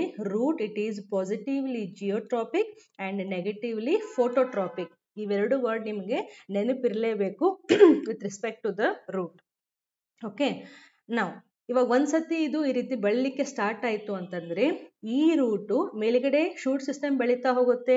ಮುಂದೆ ನಿಮಗೆ ಲೀಫ್ ಬೆಳೆಯುತ್ತೆ. ಲೀಫ್ಗಳು ಫೋಟೋಸಿಂಥಸಿಸ್ ಮಾಡಿ ಫುಡ್ಡನ್ನು ಪ್ರಿಪೇರ್ ಮಾಡ್ತವೆ. ಸೊ ಈ ರೀತಿ ಗಿಡ ಮೇಲ್ಗಡೆ ಬೆಳೀತಾ ಹೋದಂಗೆ ಕೆಳಗಡೆ ರೂಟ್ ಕೂಡ ಬೆಳೀತಾ ಹೋಗುತ್ತೆ. ಈ ರೂಟ್ ಬೆಳೀತಾ ಹೋದಂಗೆ ಇದರಲ್ಲಿ ನಮಗೆ ಬೇರೆ ಬೇರೆ ರೀಜನ್ಸ್ಗಳು ಸಿಗ್ತವೆ. ನೀವು ಒಂದು ಗಿಡವನ್ನ ಹಿಂಗೆ ಕಿತ್ತಿದ್ರಿ ಅಂತಂದ್ರೆ ಕೆಳಗಡೆ ಒಂದು ಬೇರಿರುತ್ತೆ ಅಂತ ಕಾಣಿಸುತ್ತೆ. But as a biology student ಆ ಬೇರ್ನಲ್ಲಿ ನಿಮಗೆ ಡಿಫ್ರೆಂಟ್ ರೀಜನ್ಸ್ಗಳು ಕಾಣ್ತವೆ. ಅವು ಯಾವ್ಯಾವ ರೀಜನ್ಸ್ ಅಂತ ನೋಡೋಣ. ಸೊ ಇವಾಗ ಜಸ್ಟ್ ನೀವು ಒಂದು ರೂಟ್ ಅನ್ನ ಇಮ್ಯಾಜಿನ್ ಮಾಡಿದ್ರೆ ಇದು ಸಾಯಿಲ್ ಓಕೆ ಸೊ ರೆಡಿಕಲ್ಲು ಹಿಂಗೆ ಒಳಗಡೆ ಬೆಳೆದು ರೂಟ್ ಅನ್ನ ಫಾರ್ಮ್ ಮಾಡಿದೆ. ಈ ರೂಟ್ನಲ್ಲಿ ನಿಮಗೆ ಬೇರೆ ಬೇರೆ ರೀಜನ್ಸ್ಗಳು ಸಿಗ್ತವೆ. ಇವಾಗ one point you to remember ಇದು ಸಾಯಿಲ್ ಸರ್ಫೇಸ್ ಹೌದಾ? ಮೇಲ್ಗಡೆ ನಿಮಗೇನಿದೆ? ಮೇಲ್ಗಡೆ ನಿಮಗೆ ಶೂಟ್ ಸಿಸ್ಟಮ್ ಇದೆ. Am I correct no see here ಈ ಒಂದು ರೂಟ್ದು ರೀಜನ್ಸ್ ಅನ್ನ ಹೇಳಬೇಕಾದ್ರೆ with respect to distal end and proximal end ನೀವು ಹೇಳಬೇಕು. ಟೆಕ್ಸ್ಟ್ ಬುಕ್ ನಲ್ಲೂ ಇದೆ. ಮ್ಯಾಮ್ ಕನ್ಫ್ಯೂಸ್ ಆಗ್ತಾ ಇದೆಯಾ? ಕನ್ಫ್ಯೂಸ್ ಆಗ್ಲೇಬಾರ್ದು. ಎಷ್ಟು ಈಸಿ ಇದೆ ಅಂತಂದ್ರೆ, ಈ ರೂಟದ್ದು ಎರಡು ಭಾಗ, ಇವಾಗ ನಮ್ಮ ಬಾಡಿನ ತಗೊಂಡ್ರೆ ಎರಡು ಭಾಗ ಹೇಳ್ತೀವಲ್ಲ, ಎರಡು ಎಂಡ್ ಅಂತ ಹೇಳ್ತೀವಲ್ಲ, ಒಂದು ತಲೆ ಇರೋದು, ಒಂದು ಕಾಲಿರೋದು ಅಂತ. ಅದೇ ರೀತಿ ಒಂದು ರೂಟ್ ಅನ್ನ ತಗೊಂಡ್ರೆ, ಯಾವ ಪಾರ್ಟಿಗೆ ಅದು ಶೂಟ್ ಸಿಸ್ಟಮ್ಗೆ ಅರೇಂಜ್ ಆಗಿದೆಯಲ್ಲ, ಈ ಪಾರ್ಟ್ ಅನ್ನ ನಾವೇನಂತ ಕರಿತೀವಿ? Just a minute will write it ಈ ಪಾರ್ಟ್ ಅನ್ನ ನಾವೇನಂತ ಕರಿತೀವಿ? Proximal end proximal X I M L proximal end ಕೆಳಗಡೆ ಇದೆಯಲ್ಲ, ಇದನ್ನ ಡಿಸ್ಟಲ್ ಎಂಡ್ ಎಕ್ಸಾಮ್ಗೆ ಇದನ್ನ ಕೇಳ್ತಾರೆ, ಇದ್ರ ಮೇಲೆ ಕ್ವಶನ್ಸ್ ಕೇಳ್ತಾರೆ. ಸೊ ಅಟ್ಯಾಚ್ ಆದಂತಹ ಪಾರ್ಟ್ ಏನಿದೆಯಲ್ಲ, ಅದು ಪ್ರಾಕ್ಸಿಮಲ್ ಎಂಡ್ ಫ್ರೀ ಆಗಿದೆಯಲ್ಲ ಅವೇ ಫ್ರಮ್ ಪ್ರಾಕ್ಸಿಮಲ್ ನೀವು ಹೋಗ್ತಾ, ಇದು ಡಿಸ್ಟಲ್ ಎಂಡ್ ಸೊ ಈ ಪ್ರಾಕ್ಸಿಮಲ್ ಮತ್ತೆ ಡಿಸ್ಟಲ್ ಎಂಡ್ ಮಧ್ಯೆ ಏನ್ ಪಾರ್ಟ್ ಇದೆಯಲ್ಲ, ಇಲ್ಲಿ ರೀಜನ್ಸ್ಗಳು ಇರ್ತವೆ. ಫಾರ್ ಎಕ್ಸಾಂಪಲ್ ಇದೇನ ಟಿಪ್ ಏನಿದೆಯಲ್ಲ ಫುಲ್ಲು ಈ ಟಿಪ್ ಅನ್ನ ನಾವೇನಂತ ಹೇಳ್ತೀವಿ? ರೀಜನ್ ಆಫ್ ಮೆರಿಸ್ಟೆಮೆಟಿಕ್ ಆಕ್ಟಿವಿಟಿ ಅಂತ ಹೇಳ್ತೀವಿ. ಮುಂದೆ ಇದು ಸ್ಲೈಡ್ ಇದೆ ಡೋಂಟ್ ವರಿ ಇದ್ರ ಮೇಲ್ಗಡೆ, ಅಂದ್ರೆ ಈ region of meristematic ಆಕ್ಟಿವಿಟಿದು towards proximal end see here ಅರ್ಥ ಆಗ್ತಿದೆಯಾ? ಟುವರ್ಡ್ಸ್ ಪ್ರಾಕ್ಸಿಮಲ್ ಎಂಡ್ ಹೋದ್ರೆ ನಿಮಗೆ ಈ ರೀಜನ್ ಪೂರ್ತಿಯಾಗಿ ಈ region this is the region of elongation ಅಂತ ಹೇಳ್ತೀವಿ. ಸೊ ಈ ರೀಜನ್ ಆಫ್ ಎಲಾಂಗೇಷನ್ ಇದೆಯಲ್ಲ, ಇದು region of meristematic first one ಆಮೇಲೆ second one region of elongation towards the proximal end ಹೋದ್ರೆ ನಮಗೆ ರೀಜನ್ ಆಫ್ ಮ್ಯಾಚುರೇಷನ್ ಸಿಗುತ್ತೆ. ಓಕೆ ಇದನ್ನ ಅರ್ಥ ಮಾಡ್ಕೊಳ್ಳಿ. ಇವಾಗ ರಿವರ್ಸ್ ಡೈರೆಕ್ಷನ್ ಅಲ್ಲಿ ಬರೋಣ. ಪ್ರಾಕ್ಸಿಮಲ್ ಎಂಡ್ ಆಫ್ ದ ರೂಟಿಗೆ ರೀಜನ್ ಆಫ್ ಮ್ಯಾಚುರೇಷನ್ ಸಿಗುತ್ತೆ. ರೀಜನ್ ಆಫ್ ಮ್ಯಾಚುರೇಷನ್ ಸ್ಲೋಲಿ ನಾವು ಟುವರ್ಡ್ಸ್ ಡಿಸ್ಟಲ್ ಎಂಡ್ ಬಂದ್ರೆ ರೀಜನ್ ಆಫ್ ಎಲಾಂಗೇಶನ್ ಸಿಗುತ್ತೆ. Region of elongation again towards the distal end ಬಂದ್ರೆ ನಮಗೆ ರೀಜನ್ ಆಫ್ ಮೆರಿಸ್ಟಮೆಟಿಕ್ ಆಕ್ಟಿವಿಟಿ ಸಿಗುತ್ತೆ. ಸೊ ಎಕ್ಸಾಮ್ ಅಲ್ಲಿ ನಿಮಗೆ ಯಾವುದಾದ್ರೂ ಕೇಳ್ಬೋದು. ಇವಾಗ region of elongation proximal end ಏನಿರುತ್ತೆ ಅಂದ್ರೆ ಮ್ಯಾಚುರೇಷನ್ ಸೈಟ್ ಇರುತ್ತೆ. Towards the distal end meristematic activity ಇರುವಂತಹ ರೀಜನ್ ಇರುತ್ತೆ. ಅದಕ್ಕೆ ನಾನು ಹೇಳಿದ್ದು ಪ್ರಾಕ್ಸಿಮಲ್ ಎಂಡ್ ಯಾವುದು ಮತ್ತೆ ಡಿಸ್ಟಲ್ ಎಂಡ್ ಯಾವುದು ಅಂತ ಕರೆಕ್ಟ್ ಆಗಿ ಗೊತ್ತಿರಬೇಕು. ಸೊ ಇವೆಲ್ಲ ಪಾರ್ಟ್ ಅನ್ನ ಕ್ವಿಕ್ ಆಗಿ ಒಂದ್ಸತಿ ನಾವು ನೋಡ್ಕೊಂಡ್ಬಿಡೋಣ ವೆರಿ ಇಂಪಾರ್ಟೆಂಟ್ ಸೊ ಇಲ್ಲಿ ಒಂದು ರೂಟ್ ಅನ್ನ ನಾನು ಡ್ರಾ ಮಾಡಿದ್ದೀನಿ. ಸಿಂಪಲ್ ರೂಟ್ ನಾವು first we will start with ಈ ರೀಜನ್ ಆಫ್ ಮೆರಿಸ್ಟಮೆಟಿಕ್ ಆಕ್ಟಿವಿಟಿ ಈ ಪಾರ್ಟ್ ಅನ್ನ. So we are going to start with this region of meristematic activity. Now what is this region of meristematic activity? Now see here, it is a small region above the root cap. Root cap ಅಂದ್ರೆ ಏನು ಇದೇನು ಪೂರ್ತಿ ತುದಿ ಇರುತ್ತಲ್ಲ ರೂಟದ್ದು ಅದನ್ನ protective ಆಗಿ covering cover ಮಾಡಿರುವಂತಹ ಒಂದು ಸ್ಟ್ರಕ್ಚರ್ ರೂಟ್ ಕ್ಯಾಪ್ ಇದೇನು ಅಂತ ನಾನು ಆಮೇಲೆ ಹೇಳ್ತೀನಿ ಸೊ ನಾವು ಯಾವಾಗ ಒಂದು ರೂಟ್ ಅನ್ನ draw ಡ್ರಾ ಮಾಡ್ತೀವಲ್ಲ ಫುಲ್ ಅದರದ್ದು ಟಿಪ್ ಏನ್ ಎಂಡ್ ಇದೆಯಲ್ಲ? This end we call it as a region of meristematic activity ಇದಕ್ಕೆ ಹೊರಗಡೆಯಿಂದ ಏನಿರುತ್ತೆ? ರೂಟ್ ಕ್ಯಾಪ್ ಇರುತ್ತೆ. ಸೊ ಇದೇನು region of meristematic activi activity ಇದೆಯಲ್ಲ? ಇಲ್ಲಿ ಸೆಲ್ಸ್ಗಳು they are very small and they are thin walled with dense protoplasm ಯಾಕೆ ಈ ರೀತಿಯಾಗಿದ್ದಾವೆ? Because ನಮಗೆ ಗೊತ್ತಿದೆ ಮೆರಿಸ್ಟಮೆಟಿಕ್ ಆಕ್ಟಿವಿಟಿಯನ್ನು ಹೊಂದಿರುವಂತಹ ಸೆಲ್ಸ್ಗಳು ರಿಪೀಟೆಡ್ ಕಂಟಿನ್ಯೂಸ್ ಆಗಿ ಅವು ಡಿವೈಡ್ ಆಗ್ತಾ ಇರ್ತವೆ. ಅವು ಗ್ರೋತ್ ಆಗಬೇಕು ಅಂದರೆ ಕಂಪ್ಲೀಟ್ ಆಗಿ ಗ್ರೋತ್ ಆಗಿ ಯಾವುದೋ ಒಂದು ಏನೋ ಫಾರ್ಮ್ ಮಾಡಬೇಕು ಅಂತಿರೋದಿಲ್ಲ ಆ ಸೆಲ್ಸದ ಕೆಲಸ ಏನು? ಕಂಪ್ಲೀಟ್ ಆಗಿ ರಿಪೀಟೆಡ್ಲಿ ಅವು ಡಿವೈಡ್ ಆಗ್ತಾ ಇರ್ತವೆ. ಹೊಸ ಸೆಲ್ಸ್ಗಳನ್ನು ಫಾರ್ಮ್ ಮಾಡ್ತಾ ಇರ್ತವೆ. ಸೊ ಹೊಸ ಸೆಲ್ಸ್ಗಳನ್ನು ಮಾಡಿ ಡಿವೈಡ್ ಆಗಲಿಕ್ಕೆ ಸಾಕಷ್ಟು ಎನರ್ಜಿ ಬೇಕು ಓಕೆ ಸೊ ಆ ಎಲ್ಲ ಮೆಟಬಾಲಿಕ್ ಆಕ್ಟಿವಿಟೀಸ್ಗಳು ಸ್ಟ್ರಾಂಗ್ ಆಗಿ ನಡೀತಾ ಇರಬೇಕು. ಸೊ ಅದಕ್ಕೆ ಇಲ್ಲಿ ಡೆನ್ಸ್ ಪ್ರೋಟೋಪ್ಲಾಸಮ್ ಇರುತ್ತೆ. And these cells divide repeatedly ಇದಂತೂ ನಮ್ಗೆ ಗೊತ್ತಿದೆ. ಅದಕ್ಕೆ ನಾವಿದನ್ನ ಮೆರಿಸ್ಟಮೆಟಿಕ್ ಟಿಶ್ಯೂ ಅಂತ ಹೇಳ್ತಾ ಇದ್ದೀವಿ. So here we had a region of meristematic activity. ನಾವು ಈ ರೀಜನ್ ಆಫ್ ಮೆರಿಸ್ಟಮೆಟಿಕ್ ಆಕ್ಟಿವಿಟಿ ಇದು ಟುವರ್ಡ್ಸ್ ದ ಪ್ರಾಕ್ಸಿಮಲ್ ಎಂಡ್ ಇದು ಪ್ರಾಕ್ಸಿಮಲ್ ಎಂಡು ಇದು distal end so towards the region of meristematic activity if you go proximal end ನಮಗೆ ಇವಾಗ ಏನ್ ಸಿಗುತ್ತೆ ಇಲ್ಲಿ? ರೀಜನ್ ಆಫ್ ಎಲಾಂಗೇಶನ್ ಸಿಗುತ್ತೆ. So this is the region of elongation ಈ ಪೂರ್ತಿಯಾಗಿ. ಇಲ್ಲೇನಿದೆಯಲ್ಲ? This part it is the region of elongation what is this region of elongation ಇಲ್ಲಿ ಸೆಲ್ಸ್ಗಳು ಹೆಂಗೆ ಬಂದುವು? ಇಲ್ಲಿ ಮೆರೆಸ್ಟಮೆಟಿಕ್ ಟಿಶ್ಯೂದೇನು ಡಿವೈಜನ್ ಆಗ್ತಾ ಇದೆಯಲ್ಲ? ಇಲ್ಲಿ ಸೆಲ್ಸ್ಗಳು ಸ್ಲೋ ಆಗಿ ಗ್ರೋತ್ ಆಗ್ತಾ ಆಗ್ತಾ ಎಲಾಂಗೇಶನ್ ರೀಜನ್ ಅನ್ನ ಫಾರ್ಮ್ ಮಾಡ್ತವೆ. The cells undergo rapid elongation and enlargement so ಇಲ್ಲಿಂದ ಬರುವಂತಹ ಮೆರಿಸ್ಟಮೆಟಿಕ್ ಸೆಲ್ಸ್ಗಳು ಸ್ಲೋಲಿ ಅವು ಡಿಫ್ರೆನ್ಶಿಯೇಟ್ ಆಗ್ತಾ ಆಗ್ತಾ ಎಲಾಂಗೇಶನ್ ಆಗುತ್ತೆ and they bring growth of length of the root very very important which part which region of the root brings about uh, length uh, growth in the length of the root ಅಂದರೆ ಒಂದು ಬೇರದ್ದು size ಉದ್ದಕ್ಕೆ ಜಾಸ್ತಿ ಆಗಬೇಕು ಅಂತಂದರೆ ಯಾವ ರೀಜನ್ನಿಂದ ಆಗುತ್ತೆ ಅದು? Region of elongation ಇಂದ ಆಗುತ್ತೆ. ಯಾಕೆ? ಬಿಕಾಸ್ ಇಲ್ಲಿಯ ಸೆಲ್ಸ್ಗಳು ಬೆಳೀತಾ ಬೆಳೀತಾ ಎನ್ಲಾರ್ಜ್ ಆಗಿ ಎಲಾಂಗೇಟ್ ಆಗ್ತವೆ. ಸೊ ಅವು ಎಲಾಂಗೇಟ್ ಆಗಿದ್ದಾವೆ ಅಂದರೆ ಒಳಗಡೆ ವ್ಯಾಕ್ಯೂಲು ಕೂಡ ಎಲಾಂಗೇಟ್ ಆಗಿದೆ ಅಂತ. ಸೊ ಸೆಲ್ಸ್ಗಳು ಎಲಾಂಗೇಟ್ ಆಗ್ತಾ ಇದ್ದಾವೆ ಅಂತಂದರೆ ಆ ರೀಜನ್ನು ಎಲಾಂಗೇಟ್ ಆಗ್ತಾ ಇದೆ. ಉದ್ದಕ್ಕೆ ಬೆಳೀತಾ ಇದೆ ಅಂತ ಅರ್ಥ. So this is the region of elongation region of elongation towards the proximal end ನಾವು ಹೋದ್ವಿ ಅಂತಂದ್ರೆ ಅಲ್ಲಿ ನಮಗೇನ್ ಸಿಗುತ್ತೆ? Region of maturation. So region of maturation ಅಂತಂದ್ರೆ ಏನು? ಈ ರೀಜನ್ನಲ್ಲಿ ಬರುವಂತಹ ಏನು ಸೆಲ್ಸ್ಗಳಿದಾವಲ್ಲ see it is the proximal it is proximal to the region of elongation correct it forms the root hairs so ಇಲ್ಲಿ ಏನು ಸೆಲ್ಸ್ಗಳಿದಾವಲ್ಲ ಇವೇನ್ ಮಾಡ್ತವೆ? ಥಿನ್ ಆದಂತಹ, ಅಂದ್ರೆ ತುಂಬಾ ತೆಳುವಾದಂತಹ ಹೇರ್ ಲೈಕ್ ರೂಟ್ ಹೇರ್ಸ್ಗಳನ್ನ ಫಾರ್ಮ್ ಮಾಡ್ತವೆ. The xylem and phloem in this region they differentiate internally so ಈ ಸೆಲ್ಸ್ಗಳು ಮ್ಯಾಚುರೇಷನ್ ಆಗ್ತವೆ ಅಂತಂದ್ರೆ ಇನ್ ದ ಸೆನ್ಸ್ ಅವು ಕಂಪ್ಲೀಟ್ ಆಗಿ ಕೆಲಸವನ್ನ ಮಾಡ್ಲಿಕ್ಕೆ ಸ್ಟಾರ್ಟ್ ಮಾಡ್ತವೆ. ರೂಟ್ದ ಕೆಲಸ ಏನು? ಅಬ್ಸಾರ್ಪ್ಷನ್ ಮತ್ತೆ ಅಬ್ಸಾರ್ಪ್ಷನ್ ಸೊ ಇಲ್ಲೇನ್ ಅಬ್ಸಾರ್ಪ್ಷನ್ ಆಗ್ಬೇಕಲ್ಲ, ಹೀರ್ಕೋಬೇಕಲ್ಲ ನೀರನ್ನ ಮತ್ತೆ ಲವಣಾಂಶಗಳನ್ನ, ಅವನ್ನ ಮಾಡಲಿಕ್ಕೆ ಈ ಸೆಲ್ಸ್ಗಳು ರೆಡಿ ಆಗ್ತವೆ. ಅವು ಹೆಂಗೆ ಮಾಡ್ತವೆ? With help of root hairs so ಈ ರೂಟ್ ಹೇರ್ಸ್ ಇಲ್ಲಿ ಬೆಳೆಯೋದ್ರಿಂದ ಮ್ಯಾಚುರೇಷನ್ ಪಾರ್ಟ್ನಲ್ಲಿ ಮಾತ್ರ ರೂಟ್ ಹೇರ್ಸ್ ಇರ್ತವೆ. ಈ ರೂಟ್ ಹೇರ್ಸ್ಗಳು ಬೆಳೆಯೋದ್ರಿಂದ ಆಂಕರ್ ಮಾಡ್ಲಿಕ್ಕೂ ತುಂಬಾ ಈಸಿ ಆಗುತ್ತಾ?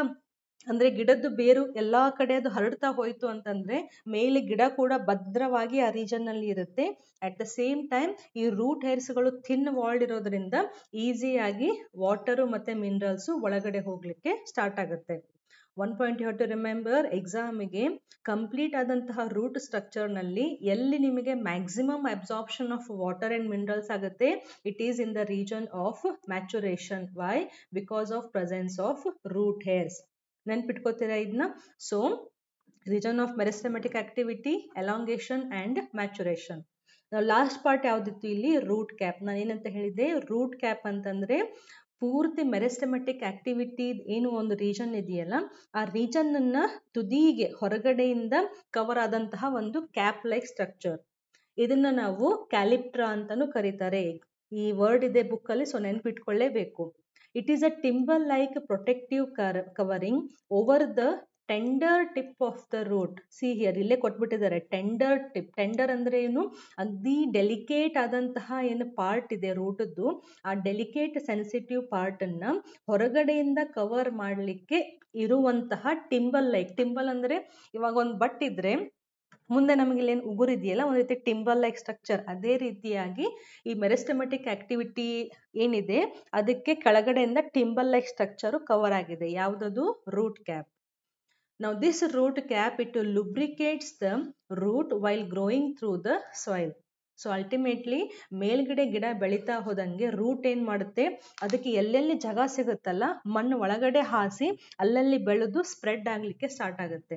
ಇವಾಗ ಮಣ್ಣು ಅಂತಂದ್ರೆ ಸ್ವಲ್ಪ ಆದರೂ ಅಲ್ಲಿ ಫಿಸಿಕಲ್ ಏನಂತಾರೆ ಡಿಸ್ಟರ್ಬೆನ್ಸ್ ಇದ್ದೇ ಇರುತ್ತಾ? ಆ ಮಣ್ಣಿಂದ ಏನು ಇಲ್ಲಿ ಸಿಹಿಯರ್ ಇಲ್ಲೇನು ಫುಲ್ ಮಣ್ಣು ಇದೆಯಲ್ಲ? ಸೊ ಈ ಮಣ್ಣು ಈ ಟೆಂಡರ್ ಟಿಪ್ ಅನ್ನ ಡಿಸ್ಟ್ರಾಯ್ ಮಾಡುವಂತಹ ಚಾನ್ಸಸ್ಗಳು ಇರುತ್ತೆ. ಸೊ ಅವಾಗ ಏನ್ ಮಾಡುತ್ತೆ? ಈ ರೂಟ್ ಕ್ಯಾಪ್ ಇದೆಯಲ್ಲ, ಈ ರೂಟ್ ಕ್ಯಾಪದ್ದು ಔಟರ್ ಮೋಸ್ಟ್ ಲೇಯರ್ ಅಲ್ಲಿ ಏನು ಸೆಲ್ಸ್ಗಳಿದಾವಲ್ಲ ಈ ಸೆಲ್ಸ್ಗಳು ಏನ್ ಮಾಡ್ತಾವೆ ಅಂತಂದ್ರೆ they secrete glycoproteins and glycolipids so ಈ ಗ್ಲೈಕೋಪ್ರೋಟೀನ್ಸ್ ಮತ್ತೆ ಗ್ಲೈಕೋಲಿಪಿಡ್ಸ್ ಇರೋದ್ರಿಂದ ಹೊರಗಡೆ ಇಲ್ಲಿ ಒಂದು ರೀತಿಯಾದಂತಹ ತೇವಾಂಶ ಕ್ರಿಯೇಟ್ ಆಗುತ್ತೆ. ಸೊ ಆ ತೇವಾಂಶ ಇರೋದ್ರಿಂದ ಈ ಸಾಯಿಲ್ ಮಧ್ಯಗಡೆ, ಮಧ್ಯದಲ್ಲಿ ಈ ರೂಟು ಈಸಿಯಾಗಿ ಪೆನೆಟ್ರೇಟ್ ಆಗಿ ಬೆಳೀತಾ ಹೋಗ್ಬೋದು. ಸೊ ಇದು ಎಷ್ಟು ಈಸಿ ಇದೆ ಅಂತಂದ್ರೆ, ನೀವು ಕಣ್ ಮುಚ್ಚಿದ್ರೆ ಸಾಕು, ಒಂದ್ಸತಿ ಫುಲ್ ರಿವೈಸ್ ಆಗ್ಬಿಡುತ್ತೆ. ಒಂದು ರೂಟ್ ಇತ್ತು ಅಂತಂದ್ರೆ ಮೇಲ್ಗಡೆ ಗಿಡ ಇದೆ, ಇದು ಪ್ರಾಕ್ಸಿಮಲ್ ಎಂಡು ಮತ್ತೆ ಇದು ಡಿಸ್ಟಲ್ ಎಂಡು ಪ್ರಾಕ್ಸಿಮಲ್ ಇಂದ ಕೆಳಗೆ ಹೋದ್ರೆ ಫಸ್ಟ್ ನಿಮಗೆ ಮ್ಯಾಚುರೇಷನ್ ಎಲಾಂಗೇಷನ್ ಮತ್ತೆ ಮೆರಿಸ್ಟಮೆಟಿಕ್ಗೆ ಹೊರಗಡೆಯಿಂದ ರೂಟ್ ಕ್ಯಾಪ್ ಇರುತ್ತೆ. ಮ್ಯಾಕ್ಸಿಮಮ್ ಅಬ್ಸಾರ್ಪ್ಷನ್ ಎಲ್ಲಾಗುತ್ತೆ ಇಲ್ಲಿ ಮ್ಯಾಚುರೇಷನ್ ಪಾರ್ಟ್ನಲ್ಲಿ. ಯಾಕೆ? ಬಿಕಾಸ್ ಅಲ್ಲಿ ರೂಟ್ ಹೇರ್ಸ್ಗಳು ಇರ್ತವೆ.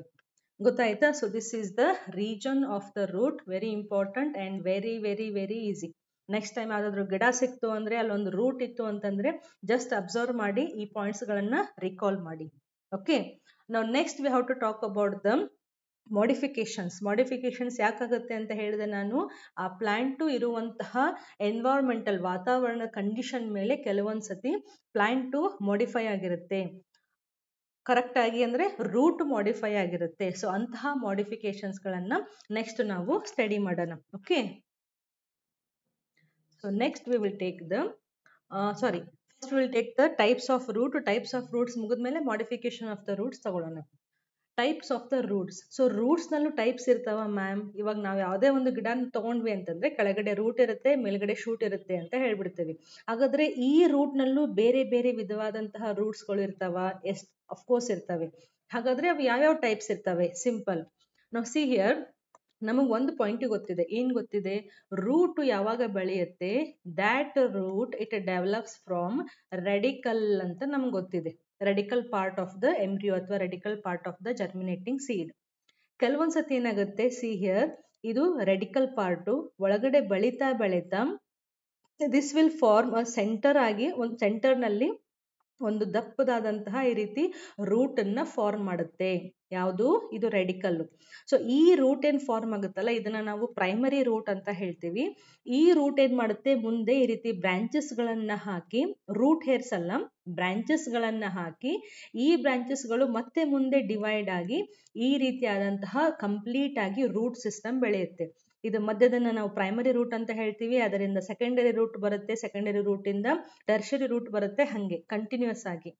ಸ್ಪೆಷಾಲಿಟಿ ಏನು ಅಂತಂದ್ರೆ, ಎಲ್ಲಿಯವರೆಗೂ ಇದು ಮೇಲ್ಗಡೆ ಗಿಡ ಇರುತ್ತೋ, ಅಲ್ಲಿಯವರೆಗೂ ಇದು ಪೂರ್ತಿ ರೂಟು ಹಂಗೆ ಇರುತ್ತೆ. ರ್ಯಾಡಿಕಲ್ ಇಂದ ಬೆಳೆದಿರುವಂತಹ ರೂಟ್ ಪ್ರೈಮರಿ ರೂಟು ಹಂಗೆ ಉಳಿಯುತ್ತೆ. ಅದನ್ನ ನಾವೇನಂತ ಕರಿತೀವಿ? ಟ್ಯಾಪ್ ರೂಟ್ ಅಂತ ಕರಿತೀವಿ. ಟ್ಯಾಪ್ ರೂಟ್ ಅಂತಂದ್ರೆ ಏನು? ರೆಡಿಕಲ್ ಇಂದ ಫಾರ್ಮ್ ಆದಂತಹ ರೂಟು ಕೊನೆಯವರೆಗೂ ಹಂಗೆ ಇರುತ್ತೆ. ಅದು ಪ್ರೈಮರಿ ರೂಟ್ ಆಗಿ ಕನ್ವರ್ಟ್ ಆಗಿ ಅಲ್ಲಿಂದ ಸೆಕೆಂಡರಿ ರೂಟ್ಸ್ಗಳು ಬೆಳೆದು ಟರ್ಷರಿ ರೂಟ್ಸ್ಗಳು ಬೆಳೆದು ರೂಟ್ ರೂಟ್ಗಳು ಬರೋದು, ಬೆಳೆದು ರೂಟ್ ಹೇರ್ಸ್ಗಳು ಬೆಳೆದು ಒಂದು ಕಂಪ್ಲೀಟ್ ಆದಂತಹ ಸಿಸ್ಟಮ್ ಅನ್ನ ಫಾರ್ಮ್ ಮಾಡುತ್ತೆ. ಅದನ್ನ ನಾವು ಟ್ಯಾಪ್ ರೂಟ್ ಅಂತೀವಿ.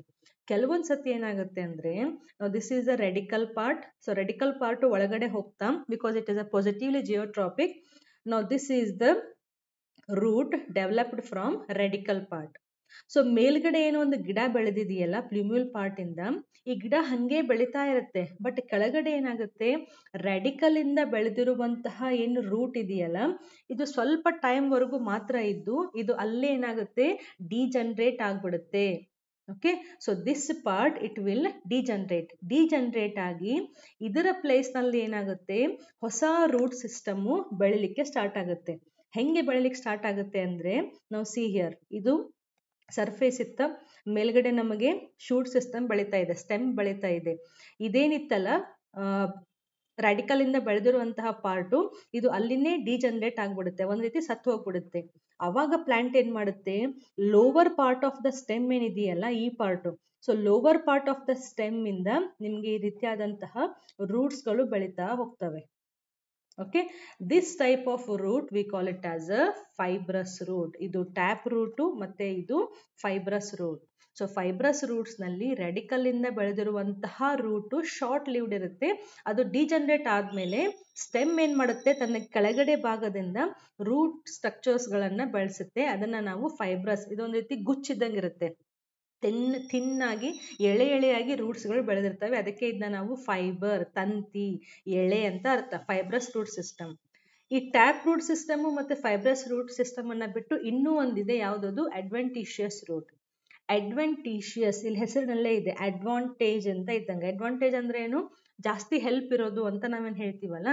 ಸೊ, ಯಾವಾಗ ರೂಟು ರೆಡಿಕಲ್ ಇಂದನೂ ಬೆಳೆಯೋದಿಲ್ಲ, ಈ ರೀತಿ ಲೋವರ್ ಪಾರ್ಟ್ ಇಂದನೂ ಬೆಳೆಯೋದಿಲ್ಲ ಮೇಲ್ಗಡೆ ಏನು ಫುಲ್ ಒಂದು ಗಿಡ ಬೆಳ್ಕೊಂಡಿದೆಯಲ್ಲ ಓಕೆ ಇದು ಒಂದು ಫುಲ್ಲು ಗಿಡ ಬೆಳೆದಿದೆ ಮುಂದೆ. No this is the flower so ಕೆಳಗಡೆ ರೂಟ್ ಈ ಪಾರ್ಟ್ ಅಲ್ಲಿ ರ್ಯಾಡಿಕಲ್ ಪಾರ್ಟ್ ಇಂದ ಬೆಳೆದೇನೆ ಸ್ಟೆಮ್ನಲ್ಲಿ ಯಾವುದೇ ಒಂದು ಭಾಗದಿಂದ ರೂಟ್ ಲೈಕ್ ಸ್ಟ್ರಕ್ಚರ್ಸ್ ಬೆಳೆದು ಅಂತಂದ್ರೆ, ನಾವು ಅದನ್ನ ಅಡ್ವಾಂಟೇಷಸ್ ರೂಟ್ ಅಂತ ಹೇಳ್ತೀವಿ. ಮ್ಯಾಮ್ ಇದು ಥರ್ಡ್ ಒನ್ ಅರ್ಥ ಆಗ್ಲಿಲ್ಲ ಅಂತಂದ್ರೆ ಕೇಳಿಸ್ಕೊಳ್ಳಿ. ಯಾವಾಗ ರೂಟು ರೆಡಿಕಲ್ ಇಂದನೂ ಬೆಳೆಯೋದಿಲ್ಲ ಈ ರೀತಿ lower part of the stem ಇಂದನೂ ಬೆಳೆಯೋದಿಲ್ಲ. ಗಿಡದಲ್ಲಿ, ಆ ಗಿಡದಲ್ಲಿ ಯಾವುದೇ ಬೇರೆ ಪಾರ್ಟ್ ಇಂದ ಒಂದು ರೂಟ್ ಲೈಕ್ ಸ್ಟ್ರಕ್ಚರ್ ಹೊರಗಡೆ ಬಂತು ಅಂತಂದ್ರೆ ನಾವು ಅವಾಗ ಅದನ್ನ ಅಡ್ವೆಂಟಿಷಿಯಸ್ ರೂಟ್ ಅಂತ ಹೇಳ್ತೀವಿ. ಯಾವಾಗ ಆ ಗಿಡದಲ್ಲಿ ಅಡ್ವೆಂಟಿಷಿಯಸ್ ರೂಟ್ ಇದೆ ಅಂತಂದ್ರೆ ಅದು ಅಲ್ಲಿ ಏನೋ ಒಂದು ಸ್ಪೆಷಲ್ ಒಂದು ಫಂಕ್ಷನ್ ಅನ್ನ ಮಾಡ್ತಾ ಇದೆ ಅಂತ ಅರ್ಥ. ಅದನ್ನ ನಾವು ಮುಂದ್ಗಡೆ ಕಲಿತೀವಿ. ಇವಾಗ ನೀವು ಎಕ್ಸಾಮ್ ಅಲ್ಲಿ ಹೆಂಗೆ ಈ ಕಾನ್ಸೆಪ್ಟ್ ಅನ್ನ ಬರೀಬೇಕು? Tap root system fibrous root system and adventitious root system tap ರೂಟ್ನಲ್ಲಿ ಏನು? It develops from the radical part of the embryo correct ಇದನ್ನಂತೂ ನಾವು ಓದಿದ್ದೀವಿ. Okay just minute so it develops from radical part of the embryo the root developed from the radical is called as primary root ಹೌದಾ? ಇಲ್ಲಿ first ಬೆಳೆದಿರುವಂತಹ root ಯಾವುದು? Primary root which is positively geotropic and grows vertically downwards so ಇದೇನ್ ಮಾಡ್ತಾ ಇದೆ? Vertically downwards so ಸೀದಾ ಅದು ಕೆಳಗಡೆ ಬೆಳೀತಾ ಇದೆ. ನೆಕ್ಸ್ಟ್ ನೋಡಿ. It bears lateral roots of several orders called secondary root tertiary root quaternary root etcetera so ಈ ಪ್ರೈಮರಿ ರೂಟಿಂದ ನಮಗೆ ಸೆಕೆಂಡರಿ ಟರ್ಷರಿ ಕಾಟನರಿ ರೂಟ್ಸ್ಗಳು ಸಿಗ್ತವೆ. ಎಕ್ಸಾಂಪಲ್ ಯಾವುದು?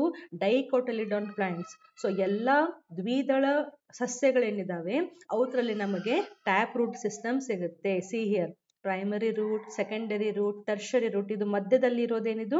ರೆಡಿಕಲ್ ಇಂದ ಬೆಳೆದಿರುವಂತಹ ಪಾರ್ಟ್ ಅದು ಮುಂದೆ ಬ್ರಾಂಚಸ್ ಆಗ್ತಾ ಆಗ್ತಾ ಸೆಕೆಂಡರಿ ಟರ್ಷರಿ ಆಗುತ್ತೆ. ರೂಟ್ ಹೇರ್ಸ್ಗಳು ಇಲ್ಲಿ ಇರ್ತವೆ. ಕನ್ಫ್ಯೂಸ್ ಆಗಬಾರ್ದು.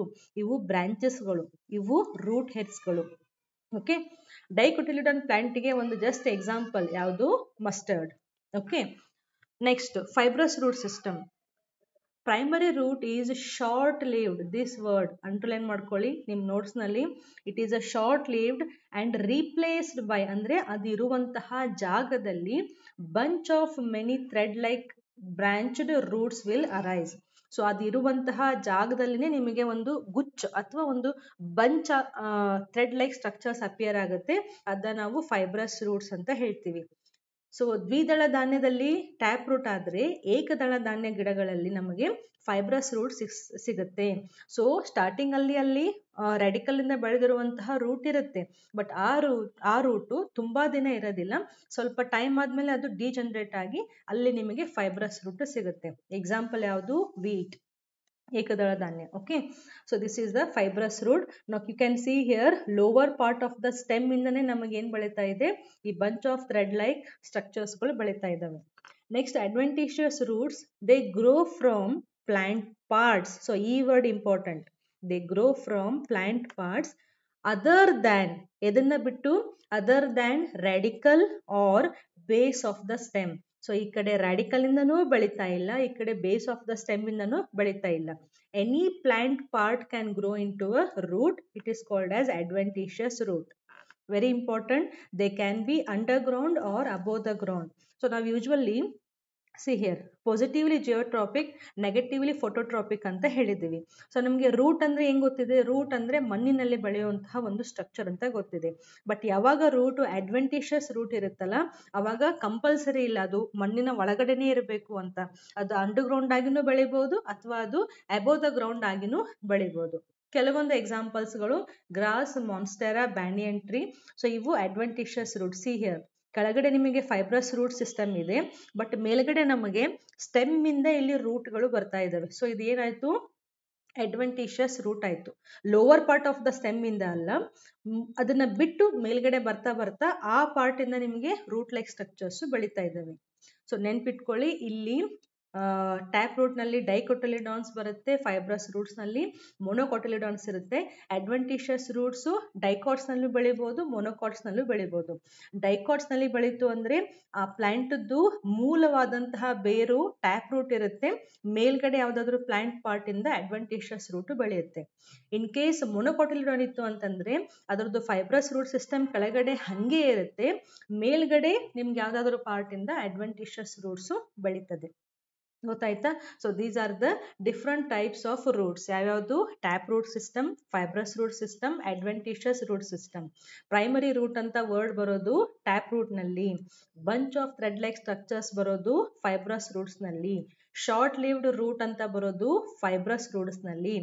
Roots from any part of the plant stem of the plant ಬರೋದು ಅಡ್ವೆಂಟಿಷಿಯಸ್ ರೂಟ್ಸ್ನಲ್ಲಿ. ಕನ್ಫ್ಯೂಸ್ ಆಗಲೇಬಾರದು, ತುಂಬಾ ಈಸಿ ಆದಂತಹ concept okay. Now, next we will go to modification of root. Now, see here. ಯಾಕೆ ಚೇಂಜ್ ಆಯಿತು ರೂಟ್ ಸ್ಟ್ರಕ್ಚರ್ ಅಂತಂದ್ರೆ ಅದು ಯಾವಾಗ ತನ್ನ ನಾರ್ಮಲ್ ಫಂಕ್ಷನ್ಸ್ ಯಾವ್ಯಾವುದು? ಒಂದು ಆ್ಯಂಕರೇಜ್ ಕೊಡೋದು ಸಪ್ ಅಂದ್ರೆ ಆ ಪ್ಲ್ಯಾಂಟು ಅದೇ ಸ್ಥಳದಲ್ಲಿ ಹಿಡಿದಿಟ್ಲಿಕ್ಕೆ ಸಹಾಯ ಮಾಡೋದು ಮತ್ತೆ absorption of water and minerals ಇವು ಮೇನ್ ಫಂಕ್ಷನ್ಸ್ ಯಾವಾಗ, ಆಮೇಲೆ ಈ ಪ್ಲಾಂಟ್ ಗ್ರೋತ್ ರೆಗ್ಯುಲೇಟರ್ಸ್ಗಳನ್ನು ಪ್ರೊಡ್ಯೂಸ್ ಮಾಡೋದು. ಯಾವಾಗ ಈ ನಾರ್ಮಲ್ ಆದಂತಹ ಫಂಕ್ಷನ್ಸ್ ಗಳನ್ನ ಬಿಟ್ಟು ಬೇರೆ ಫಂಕ್ಷನ್ ಅನ್ನ ಮಾಡ್ಲಿಕ್ಕೆ ಸ್ಟಾರ್ಟ್ ಮಾಡುತ್ತೋ ಅವಾಗ ನಾವು ಆ ರೂಟ್ ಅನ್ನ ಮಾಡಿಫೈಡ್ ರೂಟ್ ಅಂತ ಹೇಳ್ತೀವಿ. ಸೊ ಈ ಮಾಡಿಫಿಕೇಶನ್ ಆಫ್ ದ ರೂಟ್ಸ್ ನಾವು ಇವಾಗಷ್ಟೇ ಓದಿದ್ವಿ. ರೂಟ್ಸ್ನಲ್ಲಿ ನಮಗೆ ಟ್ಯಾಪ್ ರೂಟ್ ಇರ್ಬೋದು ಫೈಬ್ರಸ್ ರೂಟ್ ಇರ್ಬೋದು ಅಥವಾ ಅಡ್ವೆಂಟಿಷಿಯಸ್ ರೂಟ್ ಇರ್ಬೋದು. ಸೊ ಮಾಡಿಫಿಕೇಶನ್ಸ್ ಅಂತ ಬಂದಾಗ ಚೇಂಜ್ ಅಂತ ಬಂದಾಗ ಆ ಚೇಂಜು ಟ್ಯಾಪ್ ರೂಟ್ ನಲ್ಲೂ ಇರಬಹುದು ಫೈಬ್ರಸ್ ರೂಟ್ ನಲ್ಲೂ ಇರಬಹುದು ಅಥವಾ ಅಡ್ವೆಂಟಿಷಿಯಸ್ ರೂಟ್ಸ್ ನಲ್ಲೂ ಇರಬಹುದು confuse ಆಗಲೇಬಾರ್ದು. So first we will take the modifications in tap root tap root ಅಂದ್ರೆ ಏನಂತ ಹೇಳಿದ್ವಿ ನಾವು? ಮಧ್ಯದಲ್ಲಿ ಪ್ರೈಮರಿ ರೂಟ್ ಇರುತ್ತೆ, ಆಮೇಲೆ ಸೆಕೆಂಡರಿ ಟರ್ಷರಿ ಬ್ರಾಂಚಸ್ಗಳು ಆಗಿರ್ತವೆ. ಸೊ ಫಸ್ಟ್ ನಾವು ಅಂತಹ ಟ್ಯಾಪ್ ರೂಟ್ನಲ್ಲಿ ಆದಂತಹ ಚೇಂಜಸ್ ಅನ್ನ ಮಾಡ ಚೇಂಜಸ್ ಗಳನ್ನ ಓದೋಣ. ಸೊ ಯಾಕೆ ಇಲ್ಲಿ ಮಾಡಿಫಿಕೇಶನ್ ಅಂತ ಬಂತು? ಮಾಡಿಫಿಕೇಶನ್ ಅಂತ ಬಂದಿದ್ದು ಫುಡ್ ಅನ್ನ ಸ್ಟೋರ್ ಮಾಡಲಿಕ್ಕೆ. ಅಫ್ಕೋರ್ಸ್ ನಾನು ಫಂಕ್ಷನ್ ಆಫ್ ದ ರೂಟ್ ಅಂತ ಏನು ಎಕ್ಸ್ಪ್ಲೇನ್ ಮಾಡಿದೆ ಅಲ್ಲಿ ಆಲ್ರೆಡಿ ಸ್ಟೋರೇಜ್ ಅಂತ ಮೆನ್ಷನ್ ಮಾಡಿದ್ದೆ. ಬಟ್ ಇಲ್ಲಿ ನಾವೇನು ಸ್ಟಡಿ ಮಾಡ್ತಾ ಇದ್ದೀವಲ್ಲ ಈ ಸ್ಟೋರೇಜ್ ಮಾಡೋದ್ರಿಂದ ಆ ರೂಟದ್ದು ಸ್ಟ್ರಕ್ಚರ್ನಲ್ಲಿ ಚೇಂಜ್ ಆಗ್ತಾ ಇದೆ. ಓಕೆ ಮಾಡೋದು ಮಾಡೋದು ಸ್ಟೋರೇಜನ್ನೇ ಫುಡ್ನ ಸ್ಟೋರ್ ಮಾಡೋದು. ಬಟ್ ಈ ಸ್ಟೋರ್ ಮಾಡೋದ್ರಿಂದ ಅದರದ್ದು ಸ್ಟ್ರಕ್ಚರ್ ಚೇಂಜ್ ಆಗಿದೆ. ಅಂತಹ ಮಾಡಿಫಿಕೇಶನ್ಸನ್ನು ನಾವಿಲ್ಲಿ ಓದ್ತಾ ಇದ್ದೇವೆ. ಸೊ ಯಾವಾಗ ಒಂದು ಟ್ಯಾಪ್ ರೂಟು ಸ್ಟೋರೇಜಿಗೋಸ್ಕರ ಮಾಡಿಫೈ ಆಗುತ್ತಲ್ಲ then it will have a fleshy roots it will store the food and it will up. This is very important. Swell up ಅಂತಂದ್ರೆ ಏನು? ಆ ರೂಟ್ನಲ್ಲಿ ಇದು ರೂಟ್ ಯಾವಾಗ ಈ ರೂಟ್ನಲ್ಲಿ ಸ್ಟೋರೇಜ್ ಫಾರ್ಮ್ ಆಗುತ್ತಲ್ಲ, ಆ ಸ್ಟೋರ್ ಆಗ್ತಾ ಆಗ್ತಾ ಈ ರೂಟ್ ಸ್ವೆಲ್ ಆಗುತ್ತೆ, ಅಂದ್ರೆ ಉಬ್ಕೊಂಡು ಹೋಗುತ್ತೆ. ಸೊ ಅದು ಉಬ್ತಾ ಹೋದಂಗೆ ಸ್ವೆಲ್ ಆಗ್ತಾ ಹೋದಂಗೆ ಬೇರೆ ಬೇರೆ ಶೇಪ್ಗಳನ್ನ ಹೊಂದುತ್ತೆ. ಸೊ ಆ ಶೇಪ್ ಹೆಂಗಿದೆ ಆಧಾರದ ಮೇಲೆ ಮಾಡಿಫಿಕೇಶನ್ಸ್ ಇದಾವೆ. ಎಷ್ಟು ಈಸಿ ಹೇಳಿ. ಸೊ ಈ ರೀತಿ ಆದ್ರೂ ಶೇಪ್ ಆಗ್ಬೋದು, ಈ ರೀತಿ ಆದ್ರೂ ಶೇಪ್ ಆಗ್ಬೋದು, ಈ ಶೇಪ್ ಆಗ್ಬೋದು, ಅಥವಾ ಫೋರ್ತ್ ಒನ್ ಶೇಪ್ ಆಗ್ಬೋದು. ಇಲ್ಲಿ ತೆಗೆದಿರುವಂತಹ, ಏನು ಸಿಂಪಲ್ ನಾನು ಡ್ರಾಯಿಂಗ್ ಮಾಡಿದ್ದೀನಿ, ಅದ್ರ ಮೇಲೆ ನೀವು ಹೇಳ್ಬೋದು ಇವು ಯಾವ್ಯಾವ ಇದಾವೆ ಅಂತ. ಕರೆಕ್ಟಾ? See, here. ಇದನ್ನ ನೋಡಿದ್ರೆ ನಿಮ್ಗೆ ಕ್ಯಾರೆಟ್ ಅಂತ ಗೊತ್ತಾಗುತ್ತೆ. ಇದನ್ನ ನೋಡಿದ್ರೆ ನಿಮ್ಗೆ ರ್ಯಾಡಿಶ್ ಅಂತ ಗೊತ್ತಾಗಿ ಆಗುತ್ತೆ. ಸೊ, ಇಲ್ಲಿ ಟರ್ನಿಪ್ ನೋಡಿದ್ರೆ ನಿಮ್ಗೆ ಬೀಟ್ರೂಟ್ ಅಟ್ಲೀಸ್ಟ್ ಅದಂತೂ ನೆನಪಾಗೇ ಆಗುತ್ತೆ. ಸೊ, ಒಂದೊಂದು ಶೇಪಿಗೆ ಒಂದೊಂದು ಸೈಂಟಿಫಿಕ್ ಹೆಸರನ್ನ ನೆನ್ಪಿಟ್ಕೋಬೇಕು. ಫಸ್ಟ್ ಒನ್ ಯಾವುದು? ಕೊನಿಕಲ್ ಶೇಪ್ ಕೊನಿಕಲ್ ಅಂದ್ರೆ ಏನು? ಒಂದ್ ರೀತಿ ಟ್ರಯಾಂಗಲ್ ಶೇಪ್ ಉಲ್ಟಾ triangle shape conical shape tuberous ಅಂದ್ರೆ ಅಂದ್ರೆ ಕರೆಕ್ಟ್ ಆದಂತಹ ಒಂದೇ ಶೇಪ್ ಅಲ್ಲ, ಉದ್ದವಾಗಿ ಸ್ವೆಲ್ ಆಗಿರುತ್ತೆ. ಇರ್ರೆಗ್ಯುಲರ್ ಆಗಿ ಅದು ಟ್ಯೂಬರಸ್ ಅಂಡ್ ನೆಪಿಫಾರ್ಮ್ ಅಂತಂದ್ರೆ ಏನು? ಮೇಲ್ಗಡೆ ಪೂರ್ತಿ ಹಿಂಗೆ ಅಗಲವಾಗಿ ಕೆಳಗಡೆ ಬರ್ತಾ ಬರ್ತಾ ಫುಲ್ ತೆಳ್ಳಗಾಗ್ಬಿಟ್ಟಿರುತ್ತೆ. ಅದು ನೆಪಿ ಫಾರ್ಮ್ ಫ್ಯೂಸಿ ಫಾರ್ಮ್ ಅಂದ್ರೆ ಮಧ್ಯದಲ್ಲಿ ಈ ರೀತಿ ಅಗಲ ಆಗಿ ಮೇಲ್ಗಡೆನೂ ಚಿಕ್ಕದಾಗಿರುತ್ತೆ, ಕೆಳಗಡೆನೂ ಚಿಕ್ಕದಾಗಿರುತ್ತೆ. ಅದು ಫ್ಯೂಸಿಫಾರ್ಮ್. ಯಾಕೆ ಇಲ್ಲಿ root full primary root EC all these are the primary roots okay radicle ಇಂದ ಬೆಳೆದಿರುವಂತಹ ರೂಟ್ ಸೊ ಯಾಕೆ ಇಲ್ಲಿ ಇವು ಸ್ವೆಲ್ ಆದವು? Because of storage of the food material example conical ಇದ್ರೆ ಕ್ಯಾರೆಟ್ ಟ್ಯೂಬರಸ್ ಇದ್ರೆ ಮಿರಾಬಿಲಿಸ್ ದೆನ್ ನೆಪಿಫಾರ್ಮ್ ಇದ್ರೆ ಟರ್ನಿಪ್ ಅಂಡ್ ಫ್ಯೂಸಿಫಾರ್ಮ್ ಇದ್ರೆ radish so next time carrot ಅನ್ನ ತಿನ್ಬೇಕಾದ್ರೆ ಕ್ಯಾರೆಟ್ ಅನ್ನ ನೋಡಿದ್ರೆ ಸುಮ್ಮನೆ ತಿನ್ಬೇಡಿ, ಇಷ್ಟ ಆಗುತ್ತೆ ಅಂತ. ಇದು ಕಾನಿಕಲ್ ಇದೆ. ಇದು ಒಂದು tap root modification tap root ಅಂದ್ರೆ ಇದು ಪ್ರೈಮರಿ ರೂಟ್ ಅಂತ ಜಸ್ಟ್ ರಿಕಾಲ್ ಮಾಡಿ. ಅದಕ್ಕೆ ಹೇಳಿದ್ದು ಈ ಲೆಸನ್ ತುಂಬಾ ಇಂಪಾರ್ಟೆಂಟ್ ಅಂತ. ರ್ಯಾಡಿಶ್ ರ್ಯಾಡಿಶ್ ಊರ್ ಕಡೆ ಹೋದ್ರೆ ಎಷ್ಟು ಫುಲ್ ಫ್ರೆಶ್ ಆಗಿ ಎಷ್ಟು ಚಂದ ಚಂದ ಶೇಪ್ ಇರ್ತಾವಲ್ಲ ರ್ಯಾಡಿಷನ್ನ ತಿನ್ಬೇಕಾರೆ ಪಚಡಿ ಮಾಡಿಕೊಂಡು ನೆನಪಿಸ್ಕೊಳ್ಳಿ. ಇದು ಫ್ಯೂಸಿ ಫಾರ್ಮ್ ಅಲ್ಲಿ ಇದೆ. ಇದು ಒಂದು ಟ್ಯಾಪ್ ರೂಟು ಇದರಲ್ಲಿ ಒಂದು ಪ್ರೈಮರಿ ರೂಟು ಮಾಡಿಫೈ ಆಗಿ ಹಿಂಗಾಗಿದೆ ಸ್ಟೋರ್ ಅನ್ನ ಮಾಡಿಕೊಂಡು ಈ ರೀತಿ ಶೇಪ್ ಅನ್ನ ಆಗಿದೆ ಅಂತ ನೆನಪಿಸ್ಕೊಳ್ಳಿ. Okay so first one storage ಇದು ಮುಗೀತು. ನೆಕ್ಸ್ಟ್ ನೊಡ್ಯುಲೇಟೆಡ್ ರೂಟ್ ನಾವು what you mean by nodulated root these type of roots they occur in legumes ಅಂದ್ರೆ ಲೆಗ್ಯುಮಿನಸ್ ಪ್ಲಾಂಟ್ಸ್ನಲ್ಲಿ ಈ ರೀತಿಯಾದಂತಹ ರೂಟ್ಗಳು ಸಿಗ್ತವೆ. The root bears irregular swellings called as nodules no see here this is the primary root ಮಧ್ಯದಲ್ಲಿ. ಯಾಕೆ primary ಬಂತು? ಯಾಕಂದ್ರೆ ನಾವಿಲ್ಲಿ ಟ್ಯಾಪ್ ರೂಟ್ನ ಓದ್ತಾ ಇದ್ದೀವಿ. ಸೊ ಈ, ಇದೇನು ಬ್ರಾಂಚಸ್ಗಳಿದಾವಲ್ಲ ಸೊ ಈ ಎಲ್ಲ ರೂಟ್ ಮೇಲೆ ನಿಮಗೆ ಅಲ್ಲಲ್ಲಲ್ಲಿ ಈ ರೀತಿ ನೋಡ್ಯೂಲ್ಸ್ಗಳು ಸಿಗ್ತವೆ. ನಾವು what are these nodules continue ಇರೋದಿಲ್ಲ ಎಲ್ಲಾದ್ರೂ ಇವಾಗ ನೀವು ಹೊಲಕ್ಕೆ ಹೋದ್ರೆ ಸಾಟರ್ಡೆ ಸಂಡೇ ಶೇಂಗಾ ಗಿಡ ಕಿತ್ತಿದ್ರಿ ಅಂತಂದ್ರೆ ಅದ್ರ ಬೇರನ್ನ ಸ್ವಲ್ಪ ಅಬ್ಸರ್ವ್ ಮಾಡಿ. ಆ ಬೇರಿಗೆ ನಿಮಗೆ ಅಲ್ಲಲ್ಲಲ್ಲಿ ಈ ರೀತಿ ನೊಡ್ಯೂಲ್ಸ್ಗಳು ಇರ್ತವೆ.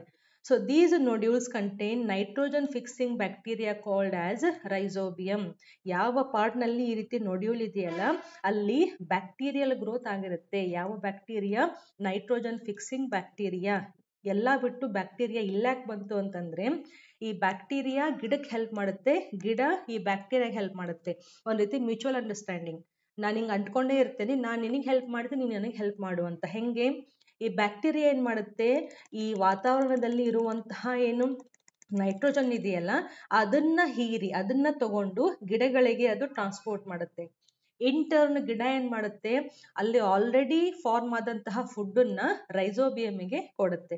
ಸೊ ಮ್ಯೂಚುವಲ್ ಅಂಡರ್ಸ್ಟ್ಯಾಂಡಿಂಗ್ ಸೊ ಈ ಬ್ಯಾಕ್ಟೀರಿಯಾ ಇರುವಂತಹ ಏನಿದು ರೂಟ್ ಇದೆಯಲ್ಲ, ಇದನ್ನ ನಾವು ನೊಡ್ಯುಲೇಟೆಡ್ ರೂಟ್ ಅಂತ ಹೇಳ್ತೀವಿ. ಎಕ್ಸಾಂಪಲ್ ಪೀ ಪ್ಲಾಂಟ್ ಓಕೆ ಅಥವಾ ನೀವು ಗ್ರೌಂಡ್ನಟ್ ಪ್ಲಾಂಟ್ ಅಂತಾನೂ ಬರೀಬಹುದು ಥರ್ಡ್ ಒನ್ ರೆಸ್ಪಿರೇಟರಿ ರೂಟ್ಸ್ ನಾವು what you mean by this respiratory roots ಹೆಸರಿನಲ್ಲೇ ಇದೆ ಗ್ಯಾಸಿಕ್ಸ್ ಎಕ್ಸ್ಚೇಂಜ್ ಮಾಡಲಿಕ್ಕೆ ಈ ರೂಟ್ಗಳು ಹೆಲ್ಪ್ ಮಾಡ್ತಾ ಇದ್ದಾವೆ. ಇವುಗಳನ್ನ ನಾವು ನಿಮ್ಯಾಟೋಫೋರ್ಸ್ ಅಂತ ಕರಿತೀವಿ. ಎಲ್ಲಿ ಸಿಗ್ತಾವೆ ಅಂತಂದ್ರೆ, ಕೆಲವೊಂದು ಬಾರಿ ಈ ಸಾಲ್ಟ್ ವಾಟ್ ಸಾಲ್ಟ್ ಕಂಟೆಂಟ್ ಜಾಸ್ತಿ ಇರುವಂತಹ ವಾಟರ್ನಲ್ಲಿ ಅಥವಾ ತೇವಾಂಶ ಎಲ್ಲಿರುತ್ತಲ್ಲ ಆ ತೇವಾಂಶದಲ್ಲಿ ಜಾಸ್ತಿ ಸಾಲ್ಟ್ ಕಂಟೆಂಟ್ ಇತ್ತು ಅಂತಂದ್ರೆ ಅಂತಹ ಜಾಗದಲ್ಲಿ ಬೆಳೆಯುವಂತಹ ಗಿಡಗಳು ಅವನ್ನ ನಾವು ಹ್ಯಾಲೋಫೈಟ್ಸ್ ಅಂತ ಹೇಳ್ತೀವಿ. ಹ್ಯಾಲೋಫೈಟ್ಸ್ ಹ್ಯಾಲೋಫೈಟ್ಸ್ ಅಂದ್ರೆ ಏನು? ಸಲೈನ್ ವಾಟರ್ನಲ್ಲಿ ಸಲೈನ್ ರೀಜನ್ನಲ್ಲಿ, ಅಂದ್ರೆ ಸಾಲ್ಟ್ ವಾಟರ್ ರೀಜನ್ನಲ್ಲಿ ಬೆಳೆಯುವಂತಹ ಗಿಡಗಳು. ಈ ಗಿಡಗಳು ಏನ್ ಮಾಡ್ತವೆ ಅಂತಂದ್ರೆ this is just one halophyte okay so ಇದು ನಿಮಗೆ ಕೆಳಗಡೆ ರೂಟ್ಸ್ ಇರುತ್ತೆ. ಸೊ ಈ ರೂಟ್ ಏನ್ ಮಾಡುತ್ತೆ? ಪ್ರೈಮರಿ ರೂಟು ಹಂಗೆ ಇರುತ್ತೆ ಓಕೆ ಬಟ್ ಇಲ್ಲೆಲ್ಲ ನಿಮಗೆ ಸಾಲ್ಟ್ ಕಂಟೆಂಟು ಜಾಸ್ತಿ ಇದೆ. ಮಾರ್ಷಿ ಪ್ಲೇಸಸ್ ಅಂತಾನು ಕರೀತಾರೆ. ಅವಾಗ ಇದೇನು ಪ್ರೈಮರಿ ರೂಟ್ ಇದೆಯಲ್ಲ, ಇದು ಬ್ರಾಂಚ್ ಆಗ್ತಾ ಓಕೆ ಈ ಬ್ರಾಂಚ್ಗಳಿಂದ ಮೇಲ್ಗಡೆ ನಿಮಗೆ ರೂಟ್ಗಳು ಬೆಳಿಲಿಕ್ಕೆ ಸ್ಟಾರ್ಟ್ ಆಗ್ತವೆ. Very very important point you have to remember ಯಾವುದದು? ದ ರೂಟ್ಸ್ ಆರ್ ಆಲ್ವೇಸ್ ನೆಗೆ ಪಾಸಿಟಿವ್ಲಿ ಜಿಯೋಟ್ರಾಪಿಕ್ ಅಂತ ಹೇಳಿದ್ವಿ ನಾವು. ರೂಟ್ ಅಂದ್ರೆ ಅದು ಪಾಸಿಟಿವ್ಲಿ ಜಿಯೋಟ್ರಾಪಿಕ್ ಹೋಗ್ಬೇಕು. ನೆಗೆಟಿವ್ಲಿ ಫೋಟೋಟ್ರಾಪಿಕ್ ಆಗಬೇಕು. ಬಲ್ ಬಟ್ ಇಲ್ಲಿ ಉಲ್ಟಾ ಆಗ್ಬಿಡ್ತು. ಇವು negatively geotropic and they are going towards the light ಅಂದ್ರೆ ಪಾಸಿಟಿವ್ಲಿ ಫೋಟೋಟ್ರಾಪಿಕ್ ಸೊ ರೂಟದ್ದು ಉಲ್ಟಾ ಕ್ಯಾರೆಕ್ಟರ್ ಅನ್ನ ಈ ನಿಮ್ಯಾಟೋಫೋರ್ಸ್ಗಳು ಮೈ ಮತ್ತೆ ಇವು ಹಿಂಗ್ ಉಲ್ಟಾ ಆಗ್ಬಿಟ್ರೆ ರೂಟ್ ಆಗ್ತಾವ. ಕೆಲವೊಂದು ಎಕ್ಸೆಪ್ಷನ್ಸ್ ಇದ್ದೇ ಇರ್ತವೆ. ಹಿಂಗೇ ಆಗ್ಬೇಕು ಅಂತ ಇರೋದಿಲ್ಲ. ಕೆಲವೊಂದ್ ಸತಿ ಅದಕ್ಕೆ ಹೇಳಿದ್ದು ಅವ್ ಆ ಪ್ಲಾಂಟ್ ಇರುವಂತಹ ವಾತಾವರಣದ ಬೇಸ್ ಮೇಲೆ ಕೆಲವೊಂದು ಚೇಂಜಸ್ಗಳು ಆಗಿರ್ತವೆ ಅಂತ.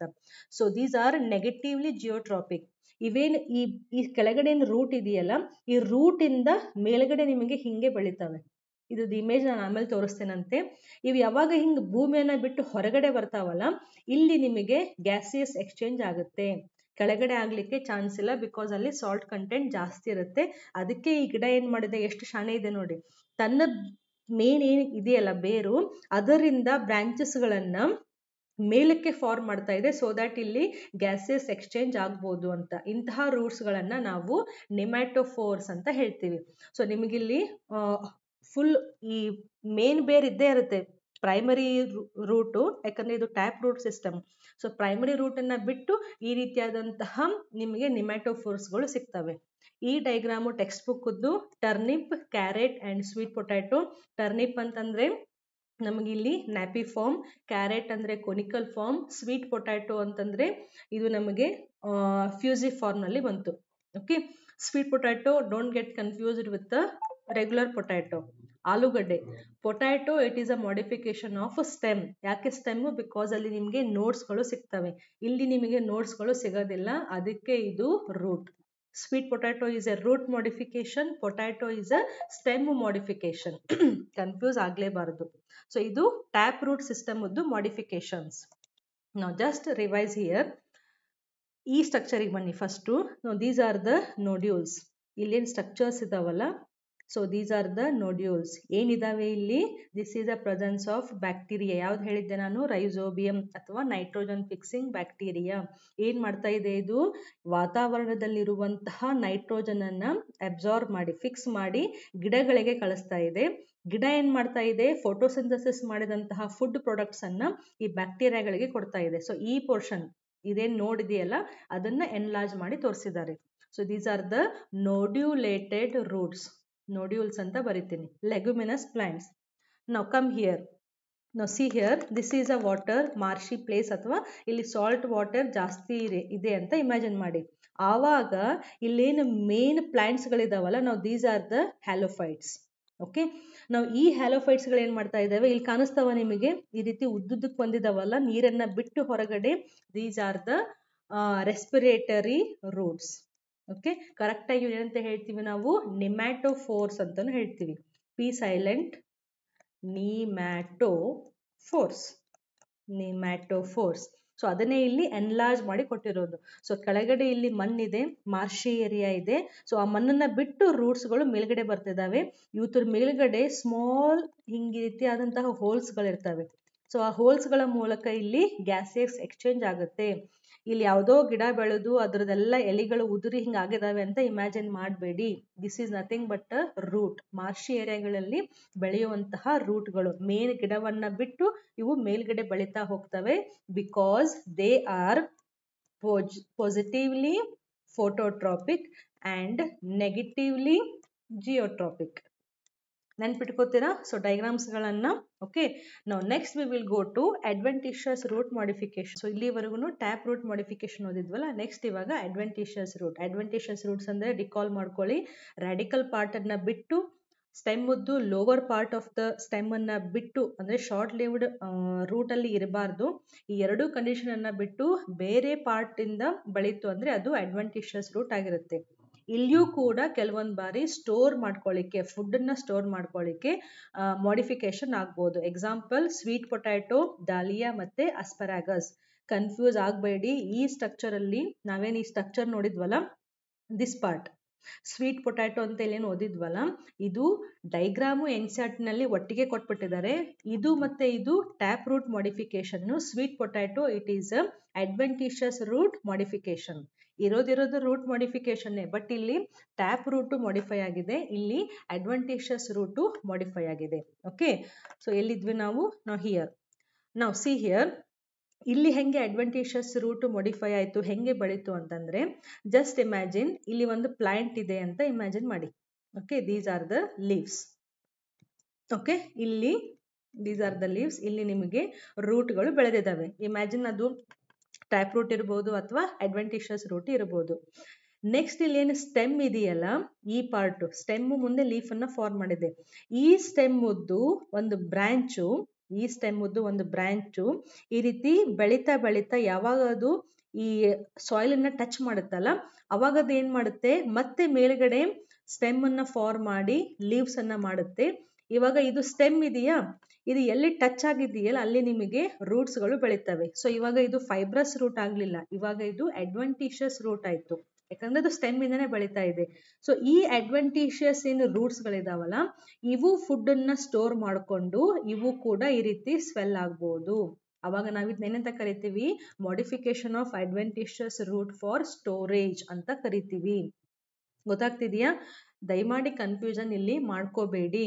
ಸ್ಟೆಮ್ ಪಾರ್ಟ್ ಇಂದನೇ ಕೆಳಗಡೆ ರೂಟ್ ಬೆಳೆದು ಆ ರೂಟ್ನಲ್ಲಿ ಫುಡ್ ಅಕ್ಯುಮುಲೇಟ್ ಆಗಿ ಅದೇನಾಗ್ತಾ ಇದೆ? ಮಾಡಿಫೈ ಆಗ್ತಾ ಇದೆ. ಬೆಸ್ಟ್ ಎಕ್ಸಾಂಪಲ್ ಸ್ವೀಟ್ ಪೊಟ್ಯಾಟೊ ನಾವು ಸಿ ಹಿಯರ್ ಇದು ಕೂಡ ಸ್ಟೆಮ್ಮು ಇದು ಕೂಡ ಸ್ಟೆಮ್ಮು ಓಕೆ ನಾನು ಏನ್ ಹೇಳಿದ್ದೆ? ರೂಟ್ ಪಾರ್ಟ್ನ ಬಿಟ್ಟು ಬೇರೆ ಕಡೆ ಬೆಳಿಬೇಕು. ರೂಟ್ ಬೆಳಿತಿರೋದು ಅಂಡರ್ ಗ್ರೌಂಡ್ನಲ್ಲಿ ಅದಕ್ಕೆ ನಾವು types of ರೂಟ್ನಲ್ಲಿ adventitious roots can be underground or it can be above the ground ಅಂತ ಹೇಳಿದ್ವಿ. ಇಲ್ಲಿ ಅಂಡರ್ ಗ್ರೌಂಡ್ ಓದ್ತಾ ಇದೀವಿ ಅಷ್ಟೇ. ಕನ್ಫ್ಯೂಸ್ ದಯಮಾಡಿ ಮಾಡ್ಕೋಬೇಡಿ. ಸೊ ಈ ಸ್ಟೆಮ್ ಮುಂದ್ಗಡೆ ಹಿಂಗೆ ಬೆಳೀತಾ ಹೋದಂಗೆ ಇದೆಲ್ಲ ಸಾಯಿಲ್ ಸಾಯಿಲ್ ಮೂಲಕ ಇದು ಹಿಂಗೆ ಬೆಳೀತಾ ಹೋದಂಗೆ ಮತ್ತೆ ಇದು ಒಂದ್ ಕಡೆ ಏನಾಗುತ್ತೆ? ಮೇಲ್ಗಡೆ ಲೀಫ್ ಅನ್ನ ಫಾರ್ಮ್ ಮಾಡಿ, ಕೆಳಗಡೆ ಅಡ್ವೆಂಟಿಷಿಯಸ್ ರೂಟ್ಸ್ ಅನ್ನ ಫಾರ್ಮ್ ಮಾಡಿ ಮತ್ತೆ ಮುಂದಕ್ಕೆ ಹೋಗುತ್ತೆ. ಇದೇನ್ ಅಡ್ವೆಂಟಿಷಿಯಸ್ ರೂಟ್ಸ್ ಇತ್ತಲ್ಲ ಇಲ್ಲಿ? ಅದು ಫುಡ್ ಅನ್ನ ಸ್ಟೋರ್ ಮಾಡಿಕೊಂಡು ಅದು ಒಂದು ಮಾಡಿಫೈ ಆಗುತ್ತೆ. ಬೆಸ್ಟ್ ಎಕ್ಸಾಂಪಲ್ ಸ್ವೀಟ್ ಪೊಟ್ಯಾಟೊ ಅದಕ್ಕೆ ನೀವು ಸ್ವೀಟ್ ಪೊಟ್ಯಾಟೊನ ತಂದ್ರೆ ಮೇಲ್ಗಡೆ ಹಿಂಗೆ ನಿಮ್ಗೆ ರೂಟ್ ಹೇರ್ಸ್ಗಳು ಕೂಡ ಕೆಲವೊಂದ್ಸತಿ ಸಿಗ್ತವೆ. ಅರ್ಥ ಆಯ್ತಾ ನಿಮಗೆ? ಸೊ ಸ್ಟೆಮ್ ಪಾರ್ಟ್ ಇಂದನೇ ಇಲ್ಲಿ ರೂಟು ಬೆಳೀತಾ ಇದೆ. Next it is for support so ಇಲ್ಲಿವರೆಗೂ ಸ್ಟೋರೇಜ್ ಇತ್ತು. ಇವಾಗ ಸಪೋರ್ಟ್ ಕೆಲವೊಂದ್ ಸತಿ ರೂಟ್ಸ್ ರೂಟ್ಸ್ಗಳು ಎಕ್ಸ್ಟ್ರಾ ಅಡ್ವಾಂಟೇಜ್ ಯಾವುದು? ಗಿಡಕ್ಕೆ ಸಪೋರ್ಟ್ ಅನ್ನ ಕೊಡ್ತವೆ. ಇದರಲ್ಲಿ ನಿಮಗೆ ಎರಡು ರೀತಿ. ಯಾವ್ಯಾವುದು? ಒಂದು ಪ್ರಾಪ್ ರೂಟು ಮತ್ತೆ ಇನ್ನೊಂದು ಸ್ಟಿಲ್ಟ್ ರೂಟ್ ಜಾಸ್ತಿ ಸತಿ ಕನ್ಫ್ಯೂಸ್ ಆಗುವಂತಹ ವರ್ಡ್ಸ್ಗಳು ಪ್ರಾಪ್ ರೂಟ್ ಮತ್ತೆ ಸ್ಟಿಲ್ಟ್ ರೂಟ್ ಅಂದ್ರೆ ಏನು? ಹೆಂಗೆ ಡಿಫ್ರೆಂಟ್ ಆಗಿರ್ತವೆ? ಪ್ರಾಪ್ ರೂಟ್ ಅಂತಂದ್ರೆ ಇವು ಅಡ್ವೆಂಟಿಷಿಯಸ್ ರೂಟ್ ಆಗಿರೋದ್ರಿಂದ ಇವು ರಾಡಿಕಲ್ ಇಂದ ಬೆಳೆದಿರಲ್ಲ. ಅದಂತೂ ಫಸ್ಟ್ ಪಾಯಿಂಟ್ ನಮಗೆ ಗೊತ್ತಿದೆ.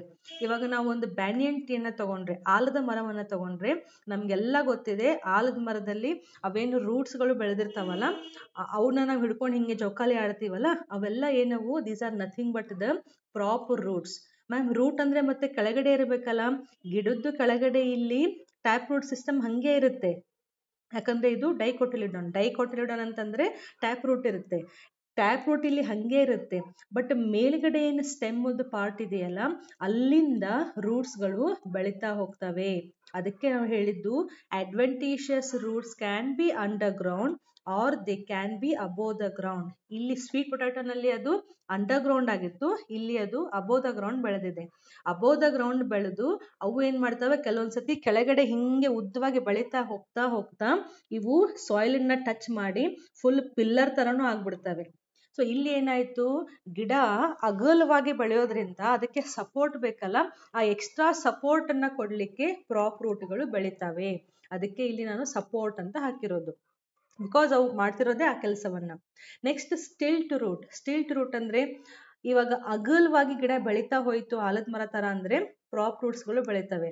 What if what if plant ತನ್ನ ಸೈಜ್ ಅನ್ನ ಬಿಟ್ಟು ಹಂಗೆ ಉದ್ದವಾಗಿ ಬೆಳೀತಾ ಹೋಯ್ತು ಅಂತಂದ್ರೆ ಗಾಳಿ ಮಳೆಗೆ ಆ ಪ್ಲಾಂಟ್ ಹಿಂಗೆ ಬೆಂಡ್ ಆಗುವಂತಹ ಚಾನ್ಸಸ್ಗಳು ಇರ್ತಾವಲ್ಲ, ಅವಾಗ ಏನ್ ಮಾಡುತ್ತೆ ಪ್ಲಾಂಟು ಎಕ್ಸ್ಪೆಷಲಿ ನೀವು ಹೊಲ ಗದ್ದೆ ಇದ್ರೆ ಶುಗರ್ ಕೇನ್ ಹಾಕಿದ್ರೆ, ಕಬ್ಬ್ ಏನಾದರೂ ಬೆಳೆದಿದ್ರೆ ನೋಡ್ಕೊಂಡ್ ಬನ್ನಿ. ಕಬ್ಬಿನ ಗಿಡ ಹೆಂಗಿರುತ್ತೆ? ಉದ್ದವಾಗಿ ಬೆಳೆದಿರುತ್ತಾ? ಇದೇನಿದು? Nodal region. ಇದಂದ್ರೆ ಏನು ಅಂತ ತಲೆ ಕೆಡಿಸ್ಕೋಬೇಡಿ. ನೋಟ್ಸ್ ಏನು ಅಂತ ನೆಕ್ಸ್ಟ್ ವಿಡಿಯೋದಲ್ಲಿ ಹೇಳ್ತೀನಿ. ಸೊ ಇಲ್ಲಿ ಲೋವರ್ ನೋಡಲ್ ರೀಜನ್ ಇದೆಯಲ್ಲ ಸ್ಟೆಮ್ನಲ್ಲಿ. ನಾವು see here these are the ಇಲ್ಲಿ ಫೈಬ್ರಸ್ ರೂಟ್ಸ್ ಇದಾವೆ ಅಂತ ಇಮ್ಯಾಜಿನ್ ಮಾಡಿ. ಮೇಜ್ ಪ್ಲಾಂಟ್ನಲ್ಲಿ ಅಥವಾ ಶುಗರ್ ಕೇನ್ ಪ್ಲಾಂಟ್ನಲ್ಲಿ. ಸೊ ಫೈಬ್ರಸ್ ರೂಟ್ಸ್ ಇಲ್ಲಿ ಹಾಗೆ ಇದೆ. ಬಟ್ ಇದು ಸ್ಟೆಮ್ಮುದ್ದೇನು ನೋಡಲ್ ರೀಜನ್ ಇದಾವಲ್ಲ lower part of the I change the colour just a minute so lower part of the stem ಏನಿದೆಯಲ್ಲ, ಈ ನೋಡಲ್ ರೀಜನ್ನಿಂದ ರೂಟ್ಸ್ಗಳು ಬೆಳೀತಾ ಹೋಗ್ತವೆ ಈ ರೀತಿ. ಓಕೆ ಈ ರೂಟ್ಸ್ಗಳು ಏನು ಮಾಡ್ತವೆ ಅಂದರೆ, ಮುಂದೆ ಹೋಗ್ತಾ ಹೋಗ್ತಾ ಪ್ಲಾಂಟ್ ಬೆಳೀತಾ ಬೆಳೀತಾ ಈ ರೂಟ್ಸ್ ಹಿಂಗೆ ವರ್ಟಿಕಲ್ ಆಗಿ ಭೂಮಿಯನ್ನ ಟಚ್ ಮಾಡಕ್ ಸ್ಟಾರ್ಟ್ ಮಾಡ್ತವೆ ಹಿಂಗೆ. ಓಕೆ ನೀವು ಜಸ್ಟ್ ಇಮ್ಯಾಜಿನ್ ಮಾಡಿ ಸಪೋರ್ಟ್ ಅಂತಂದ್ರೆ ಏನು? ಒಟ್ನಲ್ಲಿ ಆ ಸ್ಟ್ರಕ್ಚರು ಅಳಗಾಡ್ಲಾರ್ದಂಗೆ ಅದಕ್ಕೆ ಸಪೋರ್ಟ್ ಅನ್ನ ಕೊಡಬೇಕು, ಹೌದಾ? ಸೊ ಇವಾಗ ಏನಾಯ್ತು ಇಲ್ಲಿ? ಇದು ಉದ್ದವಾಗಿರೋದ್ರಿಂದ ಕೆಳಗಡೆ ಇದಕ್ಕೆ ಎಕ್ಸ್ಟ್ರಾ ಸಪೋರ್ಟ್ ಸಿಕ್ತು. ಬರೀ ಇದ್ರ ಮೇಲೆ, ಈ ಫೈಬ್ರಸ್ ರೂಟ್ ಮೇಲೆ ಇತ್ತು ಅಂತಂದ್ರೆ ಪ್ಲಾಂಟ್ ಬೀಳುವಂತಹ ಚಾನ್ಸಸ್ಗಳೇ ಇತ್ತು ಬಟ್ ಇಲ್ಲಿ ಎಕ್ಸ್ಟ್ರಾ ಸಪೋರ್ಟ್ ಅದಕ್ಕೆ ನಾನು ಎಕ್ಸ್ಟ್ರಾ ಅಂದ್ರೆ ಏನು? ಅಡ್ವಾಂಟೇಜ್ ಅಂತ ಇಲ್ಲಿ ಹೆಸರಿನಲ್ಲಿರೋದು. ಸೊ ಸ್ಟಿಲ್ಟ್ ಕನ್ಫ್ಯೂಸ್ ಆಗಬಾರ್ದು ಅಂದ್ರೆ ಏನು? ಸಿ ಹಿಯರ್ ಈ ಸ್ಟಿಲ್ಟ್ನಲ್ಲಿ ಟಿ ಕೂಡ ಉದ್ದವಾಗಿದೆ ಎಲ್ ಕೂಡ ಉದ್ದವಾಗಿದೆ ಅಗೇನ್ ಟಿ ಕೂಡ ಉದ್ದವಾಗಿದೆ. ಸೊ ಉದ್ದವಾಗಿರುವಂತಹ ಪ್ಲಾಂಟ್ಸ್ಗಳಲ್ಲಿ ಮೇಜ್ ಮತ್ತೆ ಶುಗರ್ ಕೇನ್ ಅಲ್ಲಿ ನಮಗೆ ಸ್ಟಿಲ್ಟ್ ರೂಟ್ ಸಿಗುತ್ತೆ. ಪ್ರಾಪ್ ಪಿ ನಲ್ಲಿನೂ ಅಗಲ ಇದೆ ಓ ನಲ್ಲಿನೂ ಅಗಲ ಇದೆ ಅಗೇನ್ ಪಿ ದಲ್ಲೂ ಅಗಲ ಇದೆ. ಸೊ ಅಗಲವಾಗಿ ಬೆಳೆಯುವಂತಹ ಟ್ರೀ ಯಾವುದು? ಬ್ಯಾನಿಯನ್ ಇಲ್ಲಿ ನಿಮಗೆ ಪ್ರಾಪ್ ರೂಟ್ ಸಿಗುತ್ತೆ. ಸೊ ಇವೆಲ್ಲವೂ ಕೆಲಸ ಒಂದೇ ಸಪೋರ್ಟ್ ಅನ್ನ ಎಕ್ಸ್ಟ್ರಾ ಸಪೋರ್ಟ್ ಅನ್ನ ಕೊಡ್ತಾ ಇದ್ದಾವೆ. ಒಂದು ಪ್ರಾಪ್ ರೂಟ್ ಆಗಿ, ಇನ್ನೊಂದು ಸ್ಟಿಲ್ಟ್ ರೂಟ್ ಆಗಿ. ಸೊ ಫಾರ್ ಸ್ಟೋರೇಜ್ ಆಯಿತು ಫಾರ್ ಸಪೋರ್ಟ್ ಆಯಿತು. ನೆಕ್ಸ್ಟ್ ನಮಗೆ ಕ್ಲೈಂಬಿಂಗ್ ರೂಟ್ಸ್ ಕ್ಲೈಂಬಿಂಗ್ ರೂಟ್ಸ್ ಅಂದರೆ ರೂಟ್ ಕ್ಲೈಂಬ್ ಮಾಡ್ತಾ ಹೋಗ್ತಾವ. ಆಕ್ಚುಲ್ ಆಗಿ ರೂಟ್ ಕ್ಲೈಂಬ್ ಮಾಡ್ತಾ ಹೋಗ್ತವೆ ಅಂತಂದ್ರೆ ಏನು? ಅಲ್ಲಿ ಪ್ಲಾಂಟು ಮೇಲೆ ಮೇಲೆ ಕ್ಲೈಂಬ್ ಮಾಡ್ತಾ ಬೆಳೀತಾ ಇದೆ ಅಂತ ಅರ್ಥ. ಫಾರ್ ಎಕ್ಸಾಂಪಲ್ ನಾವು ಸಿ ಹಿಯರ್ ನಮ್ದು ಮನೆಯಲ್ಲಿ ಮನಿ ಪ್ಲಾಂಟ್ ಇರುತ್ತಾ? ಎಲ್ಲರ ಮನೆಯಲ್ಲೂ ಯೂಶ್ವಲ್ ಆಗಿರುತ್ತೆ ಮನಿ ಪ್ಲಾಂಟು ಅದಕ್ಕೆ ಒಂದು ಸಪೋರ್ಟ್ ಸಿಕ್ತು ಅಂತಂದ್ರೆ, ಇದೇನೋ ಒಂದು ಸಪೋರ್ಟ್ ಇದೆ ಅಂತ ಅನ್ಕೊಳ್ಳಿ, ಒಂದು ಗೋಡೆ ಇದೆ ಅಂತ ಅನ್ಕೊಳ್ಳಿ, ಇಲ್ಲಿ ನೀವು ಮನಿ ಪ್ಲಾಂಟ್ ಅನ್ನ ಹಾಕಿದ್ದೀರಾ. ಚಿಕ್ಕದಾದಂತಹ ಮನಿ ಪ್ಲಾಂಟ್ ಈ ಮನಿ ಪ್ಲಾಂಟ್ ಏನ್ ಮಾಡುತ್ತೆ? ಈ ಗೋಡೆಯನ್ನ ಆಧಾರವಾಗಿಟ್ಕೊಂಡು ಸ್ಲೋ ಆಗಿ ಗೋಡೆ ಮೇಲೆ ಹಿಂಗೆ ಬೆಳೀತಾ ಹೋಗುತ್ತೆ. ಸೊ ಇದು ಗೋಡೆ ಮೇಲೆ ಬೆಳೀತಾ ಹೋದಂಗೆ ಇದ್ರದ್ದೇನು ಸ್ಟೆಮ್ ಬೆಳೀತಾ ಇದೆಯಲ್ಲ? ಇಲ್ಲಿ ಲೀಫ್ ಬಂದಂತಹ ನೋಡಲ್ ರೀಜನ್ನಲ್ಲಿ ಅದು ಸ್ಮಾಲ್ ರೂಟ್ಸ್ ಗಳನ್ನ ಫಾರ್ಮ್ ಮಾಡುತ್ತೆ.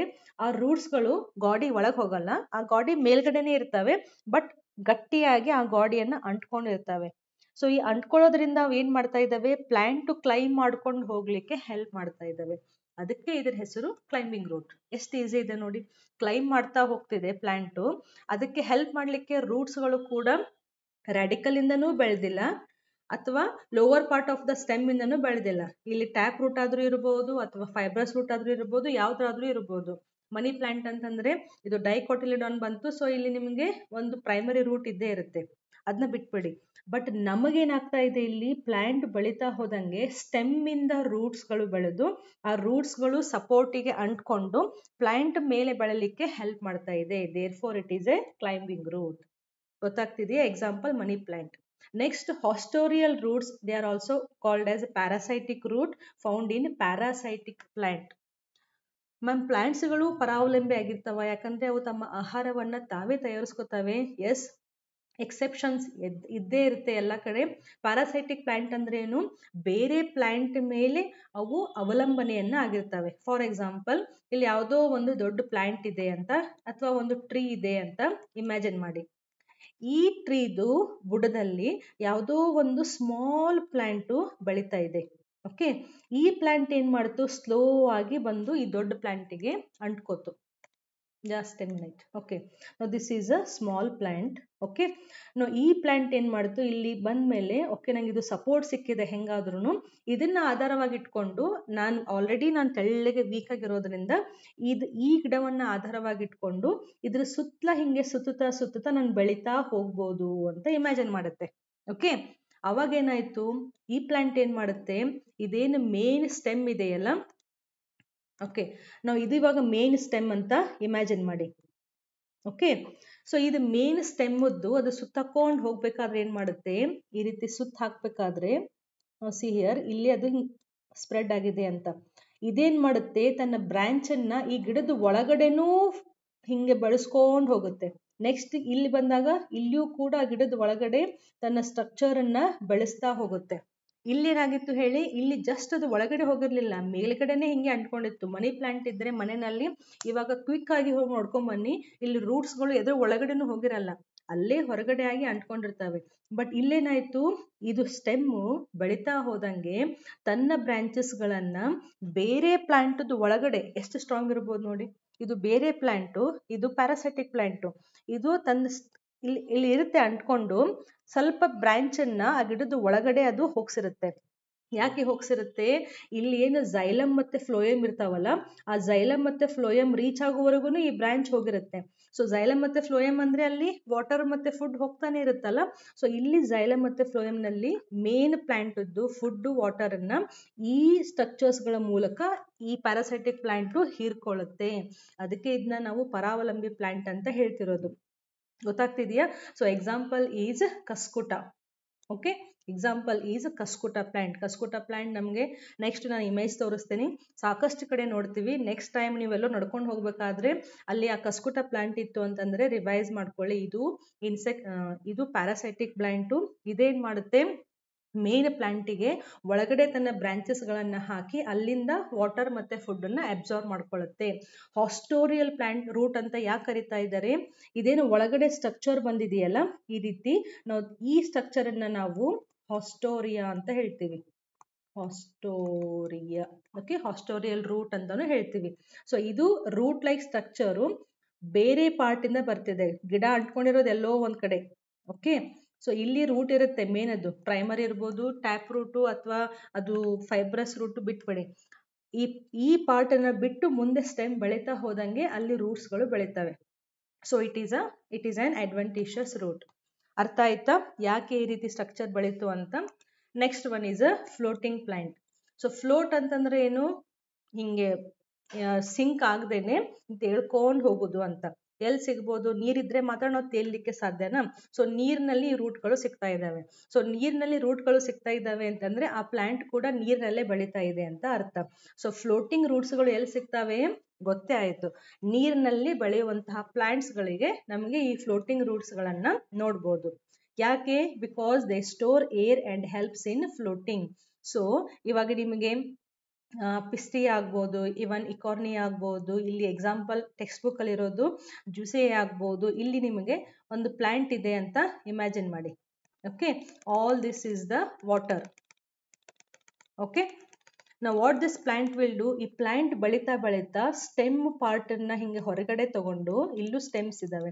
ಸೊ ಪ್ಲಾಂಟ್ನ ಹಿಂಗೆ ಹೊರಗಡೆ ತಗೊಂಡು ಓಕೆ ಇಲ್ಲಿಯೂ ಕೂಡ ಲೀವ್ಸ್ ಅನ್ನ ಬೆಳೆಸಿ, ಇಲ್ಲೇ ನಿಮಗೆ ರೂಟ್ಸ್ ಅನ್ನ ಬೆಳೆಸ್ತವೆ. ಸೊ ಮೇನ್ ಪ್ಲಾಂಟ್ ಎಲ್ಲೋ ಒಂದ್ ಕಡೆ ಇದೆ. ಇದು ಹೆಂಗಂದ್ರೆ ಎಷ್ಟು ಎಲ್ಲಾ ಕಡೆ ಈ ರೀತಿ ಸ್ಪ್ರೆಡ್ ಆಗ್ತಾ ಆಗ್ತಾ ಎಲ್ಲೆಲ್ಲಿ ಸ್ಪ್ರೆಡ್ ಆಗಿ ಲೀಫ್ ಅನ್ನ ಬೆಳೆಸುತ್ತಲ್ಲ, ಅಲ್ಲಲ್ಲಿ ಕೆಳಗಡೆ ರೂಟ್ಸ್ ಅನ್ನ ಬೆಳೆಸ್ತಾ ಹೋಗುತ್ತೆ. ಅದಕ್ಕೆ ನೋಡಿ, ನೀವು ಈ ಕಡೆ ಬೆಂಗಳೂರು ಕಡೆ ಬಂದ್ರೆ ಯಾವ್ದಾದ್ರು ಕೆರೆ ನಿಂತ ನೀರಿರುತ್ತಲ್ಲ, ಸ್ವಲ್ಪ ದಿನ ಬಿಟ್ರಿ ಅಂತಂದ್ರೆ ಈ ಪೂರ್ತಿ ನೀರು ಈ ರೀತಿ ಗಿಡಗಳಿಂದ ಪೂರ್ತಿ ಕವರ್ ಆಗ್ಬಿಡುತ್ತೆ. And it is so dangerous ಇಂತಹ ಪ್ಲಾಂಟ್ಸ್ಗಳು ಹಿಂಗೆ ಬೆಳೀತಾ ಹೋದ್ವು ಅಂತಂದ್ರೆ ಕೆಳಗಡೆ ಲೈಟ್ ಕೂಡ ಹೋಗೋದಿಲ್ಲ. ನೀರಿನ ಒಳಗಡೆ ಲೈಟ್ ಹೋಗಲಿಲ್ಲ ಅಂತಂದ್ರೆ ಅಲ್ಲಿಯ ಜೀವಿಗಳು ಕೂಡ ಸಾಯ್ತವೆ. ಸೊ ಇಂತಹ ನೀರಿನಲ್ಲಿ ಬೆಳೆಯುವಂತಹ ಹೈಡ್ರೋಫೈಟ್ಸ್ಗಳಲ್ಲಿ ನಿಮಗೆ ಫ್ಲೋಟಿಂಗ್ ರೂಟ್ಸ್ಗಳು ಸಿಗ್ತವೆ. ಅವು ಏರನ್ನ ಸ್ಟೋರ್ ಮಾಡೋದ್ರಿಂದ, ಏರ್ ಸ್ಟೋರ್ ಆಯ್ತು ಅಂತಂದ್ರೆ ಆಬ್ವಿಯಸ್ಲಿ ಇದೇನ್ ಪಾರ್ಟ್ ಇದೆಯಲ್ಲ, ಇದು ಫ್ಲೋಟ್ ಆಗ್ಲಿಕ್ಕೆ ಸ್ಟಾರ್ಟ್ ಆಗುತ್ತೆ. ನಾವು ಹೆಂಗೆ ಈಜ್ಬೇಕಾದ್ರೆ ಬಲೂನ್ಗಳನ್ನು ಕಟ್ಕೋತೀವಲ್ಲ, ಯಾಕಂದ್ರೆ ಏರ್ ಇತ್ತು ಅಂದ್ರೆ ನಾವು ಫ್ಲೋಟ್ ಆಗ್ಬೋದು ಅಂತ. ಸೇಮ್ ಥಿಯರಿಯನ್ನ ನೀವಿಲ್ಲಿ ಅಪ್ಲೈ ಮಾಡ್ಬೋದು.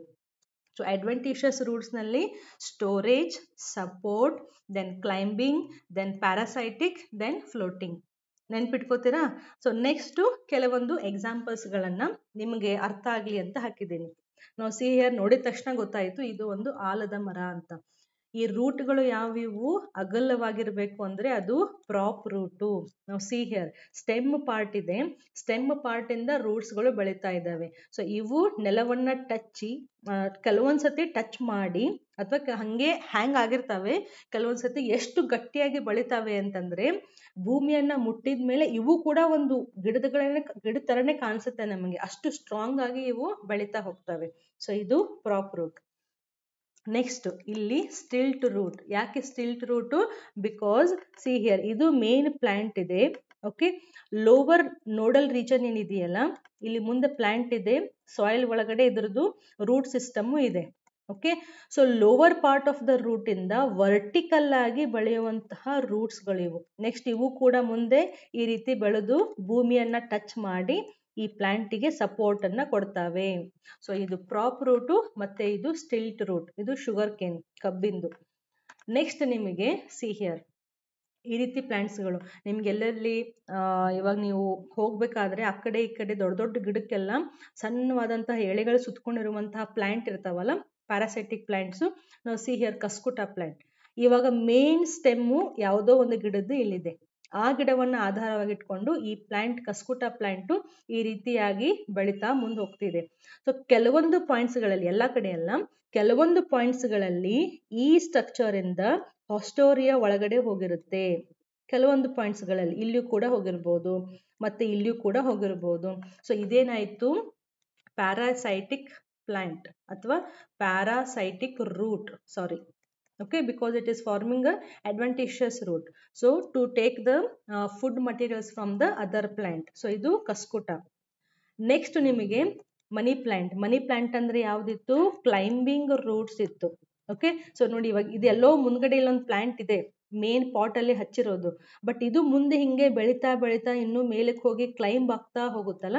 ಯಾರು ಹೆಲ್ಪ್ ಮಾಡ್ತಾ ಇದ್ದಾರೆ ಕ್ಲೈಂಬಿಂಗ್ ರೂಟ್ಸ್ಗಳು ಇಲ್ಲಿ ನಿಮ್ಗೆ ಕರೆಕ್ಟಾಗಿ ಕಾಣಿಸೋದಿಲ್ಲ ಬಟ್ ಎಲ್ಲೆಲ್ಲಿ ಎಲೆಗಳಿರ್ತಾವಲ್ಲ, ಅಲ್ಲಲ್ಲಿ ನಿಮಗೆ ಸ್ಮಾಲ್ ರೂಟ್ಸ್ಗಳು ಸಿಗ್ತವೆ. ಸೊ ಇವನ್ನ ನಾವು ಕ್ಲೈಂಬಿಂಗ್ ಇಲ್ಲಿದೆ ರೂಟ್ಸ್ ಅಂತ ಹೇಳ್ತೀವಿ. ಓಕೆ ನೆಕ್ಸ್ಟ್ ವಾಟರ್ ಇದೆ ಅಂತಂದ್ರೆ ಇದು ಒಂದು ಹೈಡ್ರೋಫೈಟ್ ಹೈಡ್ರೋಫೈಟ್ಸ್ನಲ್ಲಿ ಎಂತಹ ರೂಟ್ಸ್ಗಳು ಸಿಗಬೇಕು? ಫ್ಲೋಟಿಂಗ್ ರೂಟ್ಸ್ಗಳು ಸಿಗ್ತವೆ ಪಿಸ್ಟಿಯಾ ಮತ್ತೆ ಇಕಾರ್ನಿಯಾದಲ್ಲಿ ಸೊ ಇವು ಕೆಲವೊಂದು ಡೈಗ್ರಾಮ್ಸು ಇಮೇಜಸ್ಸು ನಿಮಗೆ ರಿವಿಷನ್ ಮಾಡಲಿಕ್ಕೆ ಈಸಿ ಆಗಲಿ ಅಂತ. ಸೊ ಈ ವಿಡಿಯೋದಲ್ಲಿ ನಾವು ಸ್ಟಾರ್ಟ್ ಲೆಸನ್ ಅನ್ನ ಸ್ಟಾರ್ಟ್ ಮಾಡಿ ರೂಟ್ ಬಗ್ಗೆ ಕಂಪ್ಲೀಟ್ ಆಗಿ ಓದಿದ್ದೀವಿ.